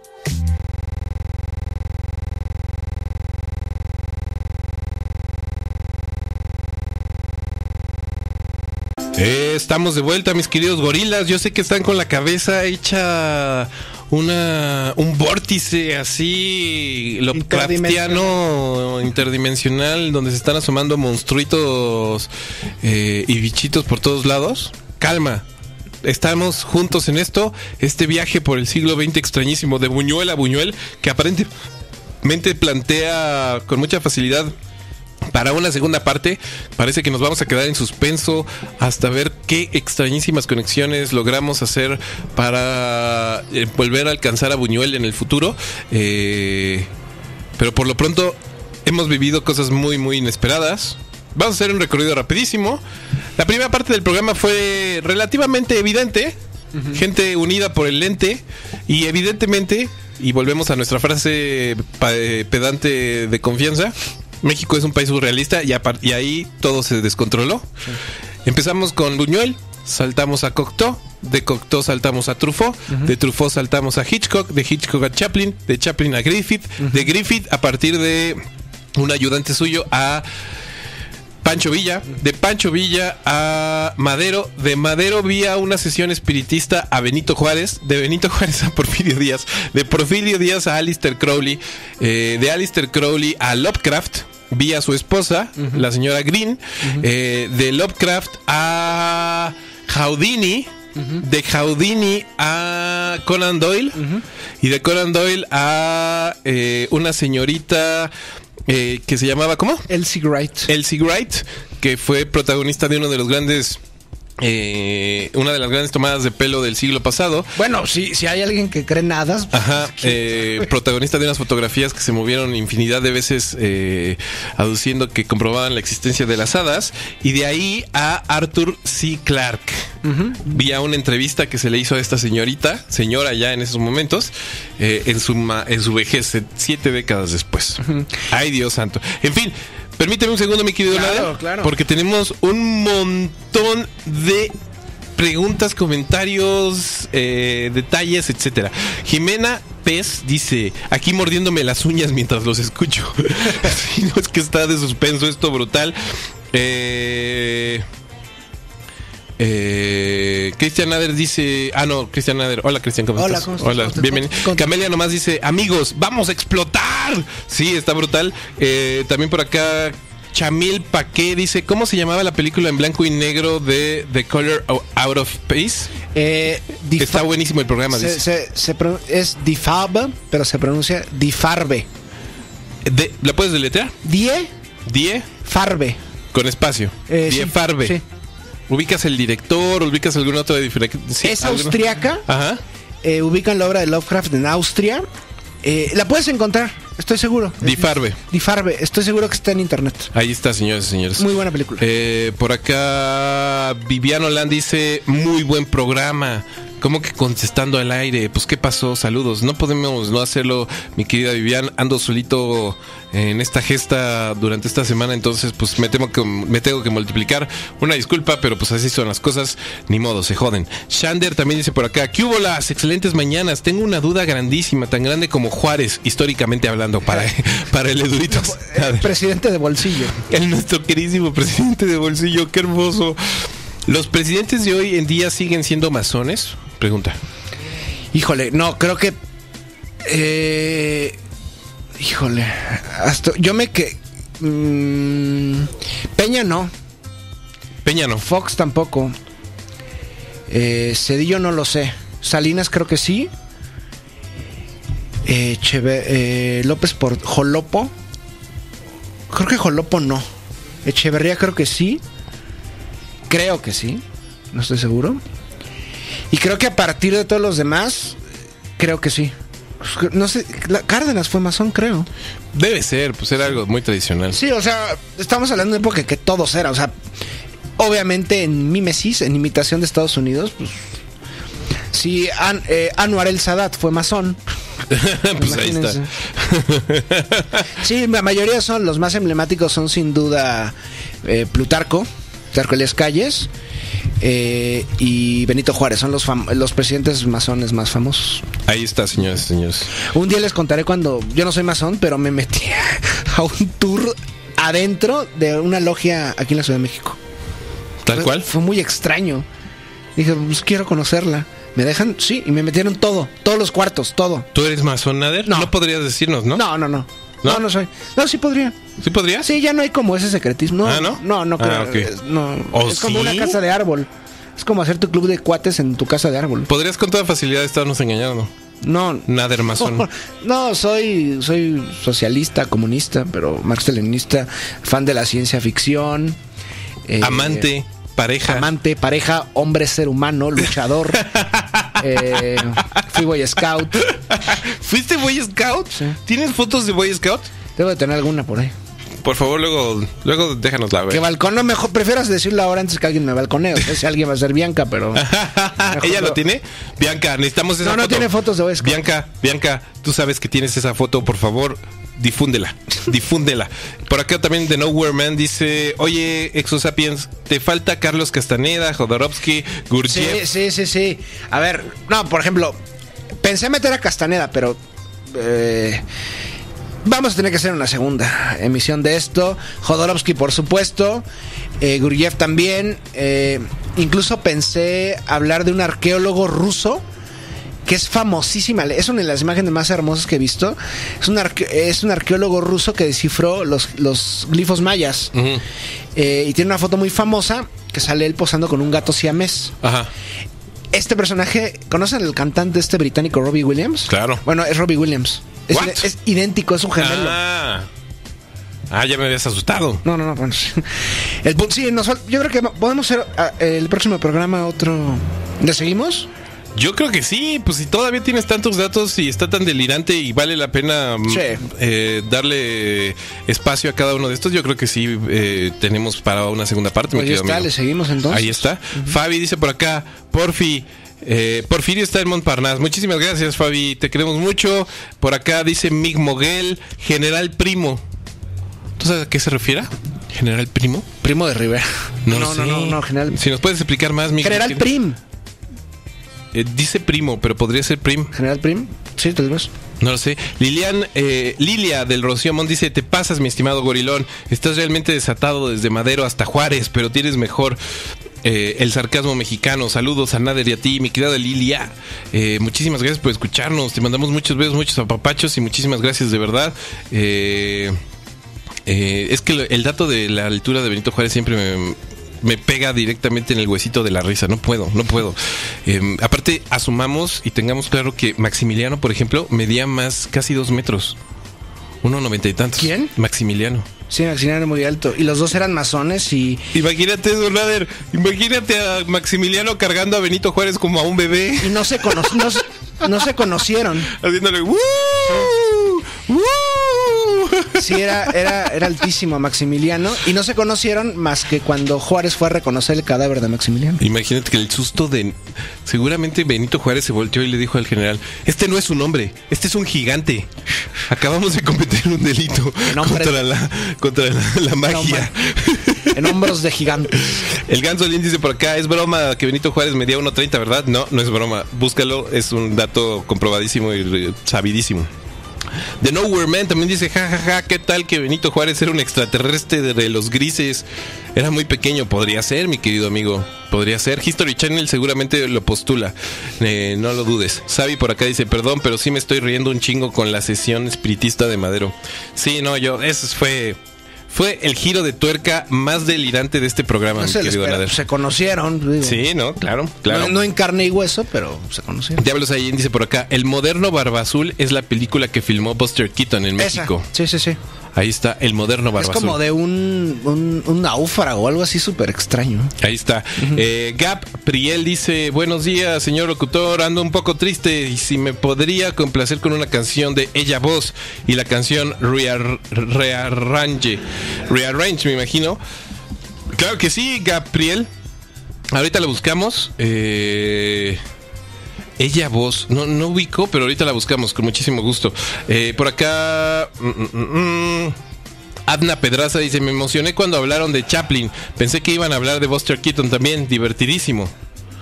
Eh, pues se podría hablar de Buster Keaton, porque sí, sí hay un conocimiento muy claro entre Chaplin y Buster Keaton. De Buster Keaton, pues podríamos saltar a Samuel Beckett, que Beckett fue compañero de, de trabajo de Buster Keaton cuando Buster Keaton logró vencer su alcoholismo. Y de eh, Samuel Beckett podríamos saltar a Andrés el Gigante, luchador de la WWF y mítico luchador de la WWF, porque era vecino de Samuel Beckett cuando era niño y Samuel Be- Beckett lo llevaba a la escuela. Es verdad. Samuel Beckett era irlan- irlandés, ¿no? Irlandés. Y, y, Premio Nobel de Literatura. ¿Y Andrés. Gigante era irlandés también? No sé si era irlandés, pero eran vecinos. Órale. Eso sí, es una conexión muy comentada. Eh, por acá, sí, extrañísimo. Diablos de Allín dice, sí, cierto. Ahí está. Eh, Fabi dice, otra gran película de Buñuel es Tristans. Tristans, que está basada en la novela de Benita, Benito Pérez Galdós. Sí, Ahí sí, está. sí. Eh, Sí, creo que con esa es la. Creo que con esa es cuando regresa a España. ah, no en, sé. ahí en los 70 creo. ¿No es con esta de... ¿Cómo se llama el santo este de la columna? No, Sa- eh, San Simón. ¿San Simón? Eh, Bueno, no no, no, no. De hecho, cuando, cuando estrena, una década antes, cuando estrena Viridiana, casi casi lo excomulgan. Sí, pues cómo no, cómo no. Eh, por acá Big Dupont también dice por acá, ja, ja, ja, el gringo promedio ni siquiera sabe qué es el surrealismo y haría cara de, ah, qué chida la definición de tu país. Saludos, gorilas. Pues ahí está, Big Dupont, un abrazo. Eh, eh, estuvo Max Ernest en Arizona. Arroba Fume Mata dice, ahora mismo hay un especial de Buñuel en Movie. ¿Qué es movie? Movie México es una plataforma como Netflix, Mm. pero para cine más de culto, latinoamericano. Está chida. Mm, ok, ok. Eh, pues ahí cálense en Movie, señores y señores, eh, para que se calen a el, el festival y el especial de Buñuel que están ahí moviendo. Por acá, Daniel Titlán dice: Gaby, Benji está fumando antes de las 10:30. Ch, No es cierto. Pero no importa, no es antes de las 10.30. el- La regla es cada media hora. Aquí en este programa, desde las 9 hasta las 12. Voy a Ahí tener está. que editar el video para que no. No, no, tú tranquilo, tú tranquilo, no pasa nada. Eh, Christopher Nilton, el maestro Christopher Nilton, dice: Silvia Pinal en Lo que callamos las mujeres no era mujer casos de la vida real. Y el de lo que callamos las mujeres era competencia de TV Azteca. Bueno, lo importante es el programa bello. Ahí está. Saludos, mi querido Ah, sí, Christopher. eh, no sé cuál es el otro, pero. Mujer Silvia casos Pinal de la vida real es el de Silvia Que Pinal. salía con la flor, no con la rosa. sí. Con una introducción ahí toda O sea, pasó de melodramática. Buñuel a eso. Imagínate, carnal. Eso, eso- caída, ¿no? Eso le hizo Enrique Guzmán. Eso le hizo Enrique Guzmán. Citla Linda dice por acá: Buen día, gorilas. Estoy intentando dejar de fumar y está cabrón. Cuando escucho que Exosapiens enciende su cigarro, francamente tiemblo y siento ganas de llorar. Maestra Citla Linda, pues no dejes de fumar. Esa es mi recomendación. No dejes de fumar y ya. Eh, Álvaro, le mandamos un saludo que dice con la libreta lista para apuntar las recomendaciones del señor Nader. Un saludo desde vuestra querida, faraónica, imponente y magnánima España. Nos escuchan desde España, mi querido amigo. ¿Cómo ves? Qué bueno. Qué bueno, un saludo, ¿no? Un saludo. Allá ya hablamos de. Pues el objetivo de esto es Buñuel a Buñuel, De Buñuel a Buñuel. de Zaragoza. a Ahí Zaragoza. está, mi querido Álvaro. Linda Sayayín dice, Linda Hamilton, Sarah Connor es el personaje, Fel- Felipe Bracho, le mandamos un abrazazo y dice, de Buñuel a Buñuel, suena a un gran viaje, abrazos, a que no te lo esperabas tan particular, mi querido Felipe, Eh, yo sé que no. Eh, por acá... mm, mm, mm. Eh, Gorilas Diablos Saiyajin dice eh, Gorilas, esto se va a poner sabroso. Todo indica que el capitán Exosapiens preparó un programón tan bello como Silvia Pinal antes de Mujer Casos de la Vida Real. Si se puede, pongan One of These Nights de los Eagles. Gran rola. One of These Nights. Me encanta. Eh, Camelia nomás dice: No había podido escuchar Buen Día Gorilas. Y por lo que veo, esto se va a poner bueno. Sí, pues Esperemos que tu apuesta se haya puesto cabrona. Eh, The Nowhere Man dice: eh, Arroba tu ministro, que es mi cuenta personal. Síganme, lo sigo de vuelta, cotorreamos, etcétera. Eh, dice: Está poniendo en aprietos cursis a Exosapiens. En un- es una invasión, es un poco desconcertante, pero muy divertido. Ahí está. No fueron aprietos, nada más le pregunté por su aniversario y su amor. Ahí está. Eh, ¿Qué más teníamos por acá? ¿Qué más teníamos por acá? Me parece que ya son todas las comunicaciones que son cientos. Eh, y Fabi dice y nos aclara, es Tristana. Maldito autocorrector. Ahí está, Tristana. Recomendación de Fabi al mundo de parte del señor eh, Luis Buñuel. Ay, me cansé, mi querido amigo. Me cansé. Eh, nos quedamos en Arthur C. Clarke. Arthur C. Clarke. ¿Quién es Arthur C. Clarke, amigos? uno de mis autores favoritos, además de Lovecraft también. Eh, autor de, bueno, él estuvo en un equipo, en el equipo de la NASA también. Eh, y por supuesto, pero él es más célebre eh, por sus novelas y cuentos de ciencia ficción. ¿Cuáles son los más célebres? Más allá de 2001, Odisea del Espacio, que 2001, Odisea del Espacio le escribe a la par de que se filma la película. Eh, pero por supuesto, la- para mí la mejor eh, se llama eh, Encuentro con Rama. Eh, Rendezvous con Rama. Es una. la- la- no he leído las demás, solo he leído la primera. No me quiero tampoco sumergir. Bueno, sí, he leído otras dos, pero no me quiero sumergir tanto en eso. Eh, las, las, fue- las. ¿Cómo se llaman? Las Fuentes del Paraíso también tiene. El fin de la infancia es muy buena, que acaba de ser, de ser adaptada también a la televisión. No es una muy mala miniserie, es buena. Eh, en fin, hay una. Mi favorita, tal vez, eh, historia corta se llama El Centinela. El Centinela. Es buenísima. Se trata de. Bueno, es como. Toma mucho de ahí para la idea del monolito en 2001. El punto es este. Eh, bueno, él vive en Sri Lanka. Es. Se declara homosexual muchas veces. Ya- ¿Quién? Está, este Arthur C. Clarke. Sí, sí, sí. ¿En serio? Se refugió en Sri Lanka y ahí vivió muchos años con su pareja, vivió bastante bien y pues, todo el mundo sabía que era, que era gay. Todo relax. Sí, todo relax. Eh, una genialidad impresionante de los tres grandes junto a Heinlein y, y Asimov. Ajá. Que Asimov también es muy destacable hablar de él algún día. Pero por supuesto, eh, como les dije, cuando él escribe 2001, lo hace junto a un proyecto con Stanley Kubrick, que es la siguiente conexión. Es Claro. obvio. Stanley Kubrick, eh, cuando se filma 2001, al, al mismo tiempo está escribiendo la, la novela, eh, claro, mucho más amplia, este Arthur C. Clarke. Entonces, bueno, ¿quién fue Stanley Kubrick? Pues creo que es de los personajes más conocidos de esto, ¿no? Sí. Fue muy excéntrico también, fue un personaje. No, bueno, un personaje. de hecho, no, no sería excéntrico, sería lo contrario, excéntrico. Era muy reservado, muy, muy reservado. Bueno, eh, eh, era no solo reservado, era críptico. Sí, era una Obsesivo. persona, una personalidad completamente apartada de cualquier tipo de comunicación, salvo detalle chistosísimo con su chofer. Sí, sí, sí. Su chofer era su mano derecha en todo. Mucha gente dice que eh, no, tampoco, mano. Estamos en la misma situación. Por suerte ya está acabando este programa. Eh, eh, su chofer se volvió básicamente su conexión con el mundo. Sí. Y era pues productor, eh, eh, tramoyista, lo que fuera necesario. eh, y posteriormente defensor de la obra del señor Kubrick. Hay Su un- chofer, un, italiano. Hay, por una- cierto. hay un documental muy bueno que se llama The Kubrick Tapes.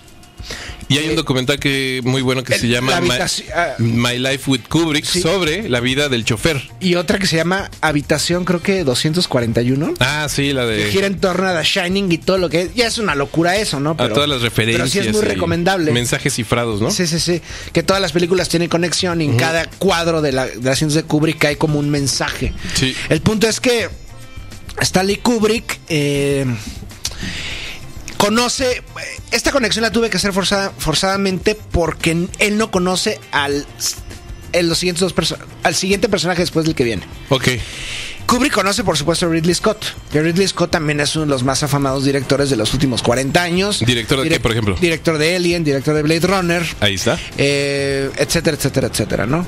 Eh, aunque, aunque ustedes no lo crean, por ejemplo, Alien la toma de otra película que existía que se llama el algo así como Vampiros del Espacio. Hay una película italiana, B, de bajo presupuesto, Ajá. que es la trama es idéntica a Alien. Además de que Alien es totalmente Lovecraftiana, Ajá. pues es, digamos, Lovecraft en el espacio. Este Ridley Scott toma muchísimo de esta película italiana. Ujú. Es casi casi idéntica. Nada más ¿Cómo que se llama la lugar- película? Vampiros, creo que la, la doblan de la tradujeron de distintas maneras, pero se llama algo así como Vampiros del espacio exterior, algo así. Pero es Alien prácticamente. Es impresionante, las tantas coincidencias son raras, ¿no? El punto es que a través de eh, Ridley Scott, que también es uno de los directores más célebres, filma Blade Runner. Ajá. Blade Runner se basa en la novela eh, corta de Philip Dick, eh, Do, I Do Androids Dream of Electric Sheep? Exacto. ¿Ok? Que hay muchas diferencias también. Pero que bueno, también era un loco, Philip y Dick, ¿no? precisamente vamos con Philip Dick. Ok. Philip Dick era, una- era un, un hombre muy atormentado. Ajá. Muy, muy. Hay, hay Ok, libros- entonces de Conan Doyle pasamos por La Niña de las Hadas. De La Niña de las Hadas pasamos a Arthur C. Clarke. De Arthur C. Clarke pasamos a Stanley Kubrick. De Stanley Kubrick pasamos a Ridley Scott. Ridley Scott. Y de Ridley Scott pasamos a Philip K. Dick. Sí, que también la vida de Ridley Scott fue como muy. No sé cuál es, de cuál es su ámbito familiar, cómo Ajá. fue. Pero los hermanos Scott, porque acaba de morir, bueno, no murió hace poco, ya tiene bastante que murió, Tony Scott, Ajá. el que dirigió Man on Fire. Creo que es. ¿Qué pasó? ¿Se suicidó? Se suicidó. Sí, ¿verdad? Y había tenido muchos problemas ese personaje. De hecho, cuando fue la. Hicieron la película esta de aquí en Man on Fire, que fue Ajá. Denzel Washington, con la niña esta insoportable que se llama Dakota Fanning. Ajá. eh, hicieron audiciones y me pasaron un contacto para que fuera a audicionar. Pero tú estás muy gringo, maestro. Ya sé, por No te eso me iban a- recha- por eso me Andaban buscando rechazaron. muy- más paisanos. Fue ahí en una oficina adjunta en los estudios Churubusco. ¿Y fuiste? Sí, fui. No. Y no me quedé. Pues no. Bueno, por cierto, esa película la filman en el Colegio de las Vizcaínas, ahí en el centro histórico. Ahí está. Bueno, el punto es que Philip Dick. eh, yo creo que podemos terminar ahorita con Philip Dick. Ajá. O. Bueno, ya veremos. Eh, era un personaje paranoico a madres que estuvo en bajo tratamiento psiquiátrico. Sí, súper drogadicto. Eh, una vida extremadamente difícil. eh, o sea, realmente sí estaba loco, prácticamente. O sea, este personaje conoce a este. El que escribió la de, el, eh, el libro de Solaris, el polaco, Stanislav Lem. Él fue el que tradujo la obra de Dick al polaco. Y Ajá. creo que al ruso también. No sé cómo fue que una vez le llamó Stanisla- Stani- Stanislav Lem a, a este Philip Dick. Y Philip Dick pensó que es- este Lem era un agente de la KGB que estaba vigilando a Dick. Así tal cual. Y llamó al FBI. Y el FBI llegó y se hicieron amigos de Philip Dick. ¿En serio? Sí, sí, sí. El FBI. Sí. Uy, me esa suena una combinación explosiva, amigo. Bueno, ¿qué ha escrito Philip Dick? Bueno, también son célebres sus adaptaciones, no muy buenas todas, por cierto. Además de eh, Do Android Dream of Electric Sheep de Blade Runner, escribe también Total Recall. Ajá. Se- es del Vengador del Futuro, que por cierto se filma en México. Se filma en Metro Chabacano, Metro Insurgentes, eh, en el edificio del Infonavit, ahí en Barranca del Muerto, Ajá. etcétera. Una, una, una, una excelente cinta que se llama Screamers. Es una cinta de bajo presupuesto, de- también de Philip Dick, es muy buena.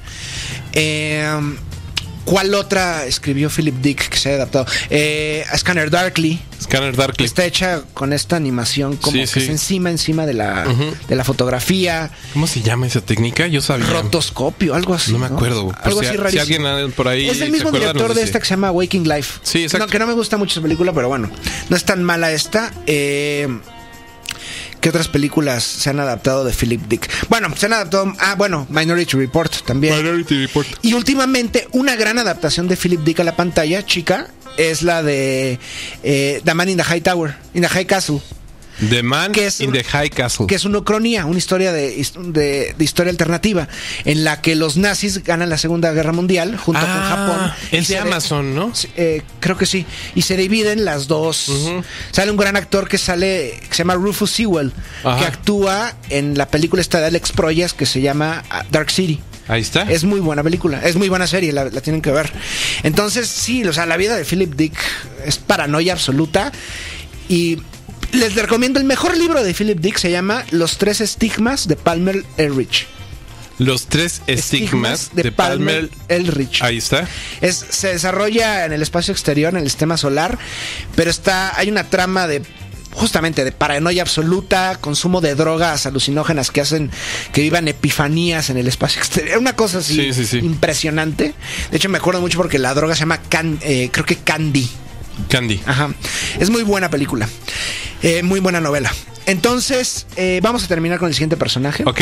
Este personaje, en una entrevista le preguntan, ¿y tú conocí? Porque, bueno, entre los mismos autores de ciencia ficción, a, a pesar de que Philip Dick siempre fue un personaje como exógeno al círculo, Ajá. nunca estuvo metido como Arthur C. Clarke o Asimov o Robert Heinlein o Orson Scott Card. No, no, no.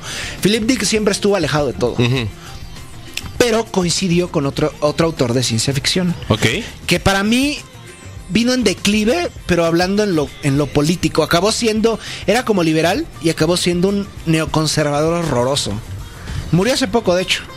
Me refiero a Ray Bradbury, Ray Bradbury. autor del Hombre Ilustrado, Claro, Crónicas Marcianas, claro. etcétera. Eh, entonces, él conoce a Philip Dick, creo que en un bar o en un café, y le trató de hacer la plática y le dijo. Y acabó diciendo que no quería hablar Philip Dick con él, que era un hombre casi casi horrible, que odiaba la vida y Ajá. odiaba hablar. Ese fue su resumen de Ray Bradbury de, De Philip K. Dick. de Philip K. Dick. Pues, la verdad es que casi todo el mundo dice lo mismo, ¿eh? Sí, sí, sí. Del maestro Dick. Era un Dick. Tal He was cual. a dickhead. Sí, He exacto. was a dickhead. Entonces, Ray Bradbury pues, ha, eh, ha leído El Hombre Ilustrado. Hay una adaptación también, eh, creo que de cine o televisión del Hombre Ilustrado. Ujú. Esa- no me voy a spoilear tanto, pero es un hombre que está lleno de tatuajes. Ajá. O sea, a partir de todos los tatuajes que tiene en su cuerpo empieza a contar una historia. Y todas son de fantasía y de ciencia ficción. Sí. Y, por ejemplo, Crónicas Marcianas es sobre pues, la vida en Marte, la evolución de la vida en Marte y el contacto de los- del hombre con los marcianos. Y hay una adaptación a la panta, eh, a serie de los 70s o comienzos de los 80s que tiene este todo este sabor y esta fotografía setentera ochentera. Es fascinante esta, esta serie. Sin embargo, las- el- la obra más célebre de, de Ray Bradbury sin duda es Fahrenheit 451. Claro. Que se acaba de estrenar creo que una serie o una película. Una serie. Y Una esto, serie. y esto nos lleva a hablar de la primera adaptación a la pantalla, que fue de quién? De François Truffaut. Regresamos a Truffaut. Regresamos a Truffaut, pero ahí no nos vamos a detener. Nos vamos a detener con, con este Ray Bradbury, que acaba siendo un conservador, que incluso fue amigo de los Bush. A ese grado. Espera, espera, espera. ¿Ya terminamos? No, No, no. Ah, no, es de Buñuel a Buñuel. Buñuel a Buñuel. De Buñuel a Buñuel. Si fuera de Truffaut a Truffaut, ya hubiéramos terminado. terminado, pero no, pero nos nos vas a dar vueltas y vueltas más, ¿verdad? Ya Sí, te vi, ya vi tus apuntes objetivo. de psicótico. ya, ya lo vi. Ok, bueno, va. Ni modo. Hoy fue de Buñuel, hoy fue de Buñuel, de Buñuel a Ray Bradbury. Esperemos que la próxima semana sea de Ray Bradbury a, a Buñuel. ¿Qué es lo que era, maestro? Sí. Ok, bueno. Y ya también les tendremos un sinfín de recomendaciones, una lista ya más ordenada y cronológica de todas las cintas, decenas de cintas y obras bibliográficas que se habló en este programa, ¿no? Wow, qué espectacular. El siglo XX fue un siglo complejo, pero muy muy fértil en cuestión de, gen- de genialidad, de excentricidad, incluso les lo quieren llamar de locura, ¿no? Pues los aviones aceleraron eh, este tipo de encuentros arbitrarios, ¿no? Ahí está, mis queridos gorilas. ¿Hacemos un resumen, mi querido amigo? Sí. A ver, a ver si me acuerdo, ¿eh? De Buñuel saltamos a Cocteau. Ajá. De Cocteau saltamos a Truffaut. De Truffaut saltamos a Hitchcock. De Hitchcock saltamos a Chaplin. De Chaplin saltamos a Griffith. De Griffith saltamos a su asistente. De, su asistente saltamos a Pancho Villa. De Pancho Villa saltamos a Madero. De Sí. Madero, vía una sesión espiritista, saltamos a Juárez. De Juárez saltamos a Benito Juárez. Digo, a Porfirio Díaz. De Porfirio Díaz saltamos a Alistair Crowley. De Alistair Crowley saltamos a Lovecraft. A Lovecraft. De Lovecraft saltamos a eh, Houdini. De Houdini saltamos a Conan Doyle. De Conan Doyle saltamos a unas niñas con sus hadas. De las niñas con sus hadas saltamos a Arthur C. Clarke. De Arthur C. Clarke saltamos a Ridley. Eh, Ridley Scott. No, a Stanley Kubrick. De Arthur C. Clarke saltamos Ah, a, sí, sí, a sí. Stanley Kubrick. De Stanley Kubrick saltamos a Ridley Scott. De Ridley Scott. ¿Cuál era la conexión entre Stanley Kubrick y Ridley Scott? No, pues se conocieron muchísimas veces. Ah, ya, ya, ya. De hecho, eh, recordemos que est- este Ridley Scott comienza haciendo comerciales. Mm. Comienza haciendo comerciales y son. Se, se encuentran varias. De hecho. Almas, almas muy afines. sí, Ridley Scott, Stanley tenía el proyecto de hacer inteligencia artificial, luego la acaba filmando Spielberg. Y recordemos, Ridley Scott también filma Los Duelistas. A- a- le gustó mucho esa película Kubrick porque se emparejaba más o menos con, la, con Barry Lyndon en parte Ajá. y también con el proyecto que nunca logró hacer. ¿Cuál era? Napoleón. Napoleón, el famosísimo Napoleón de Kubrick. Pero una pinche película. Hubiera así. sido espectacular. Sí, sí, hay un libro, hay un Sí, libro de cómo hubiera sido la película. No mames, es una cosa así de Dios santo. En fin, de eh, de Ridley Scott saltamos a Philip K. Dick, su, su relación clarísima. De Philip K. Dick saltamos a eh, Ray Brad- Bradbury y de Ray Bradbury saltamos a Me- lo- los dejamos. a. Truffaut.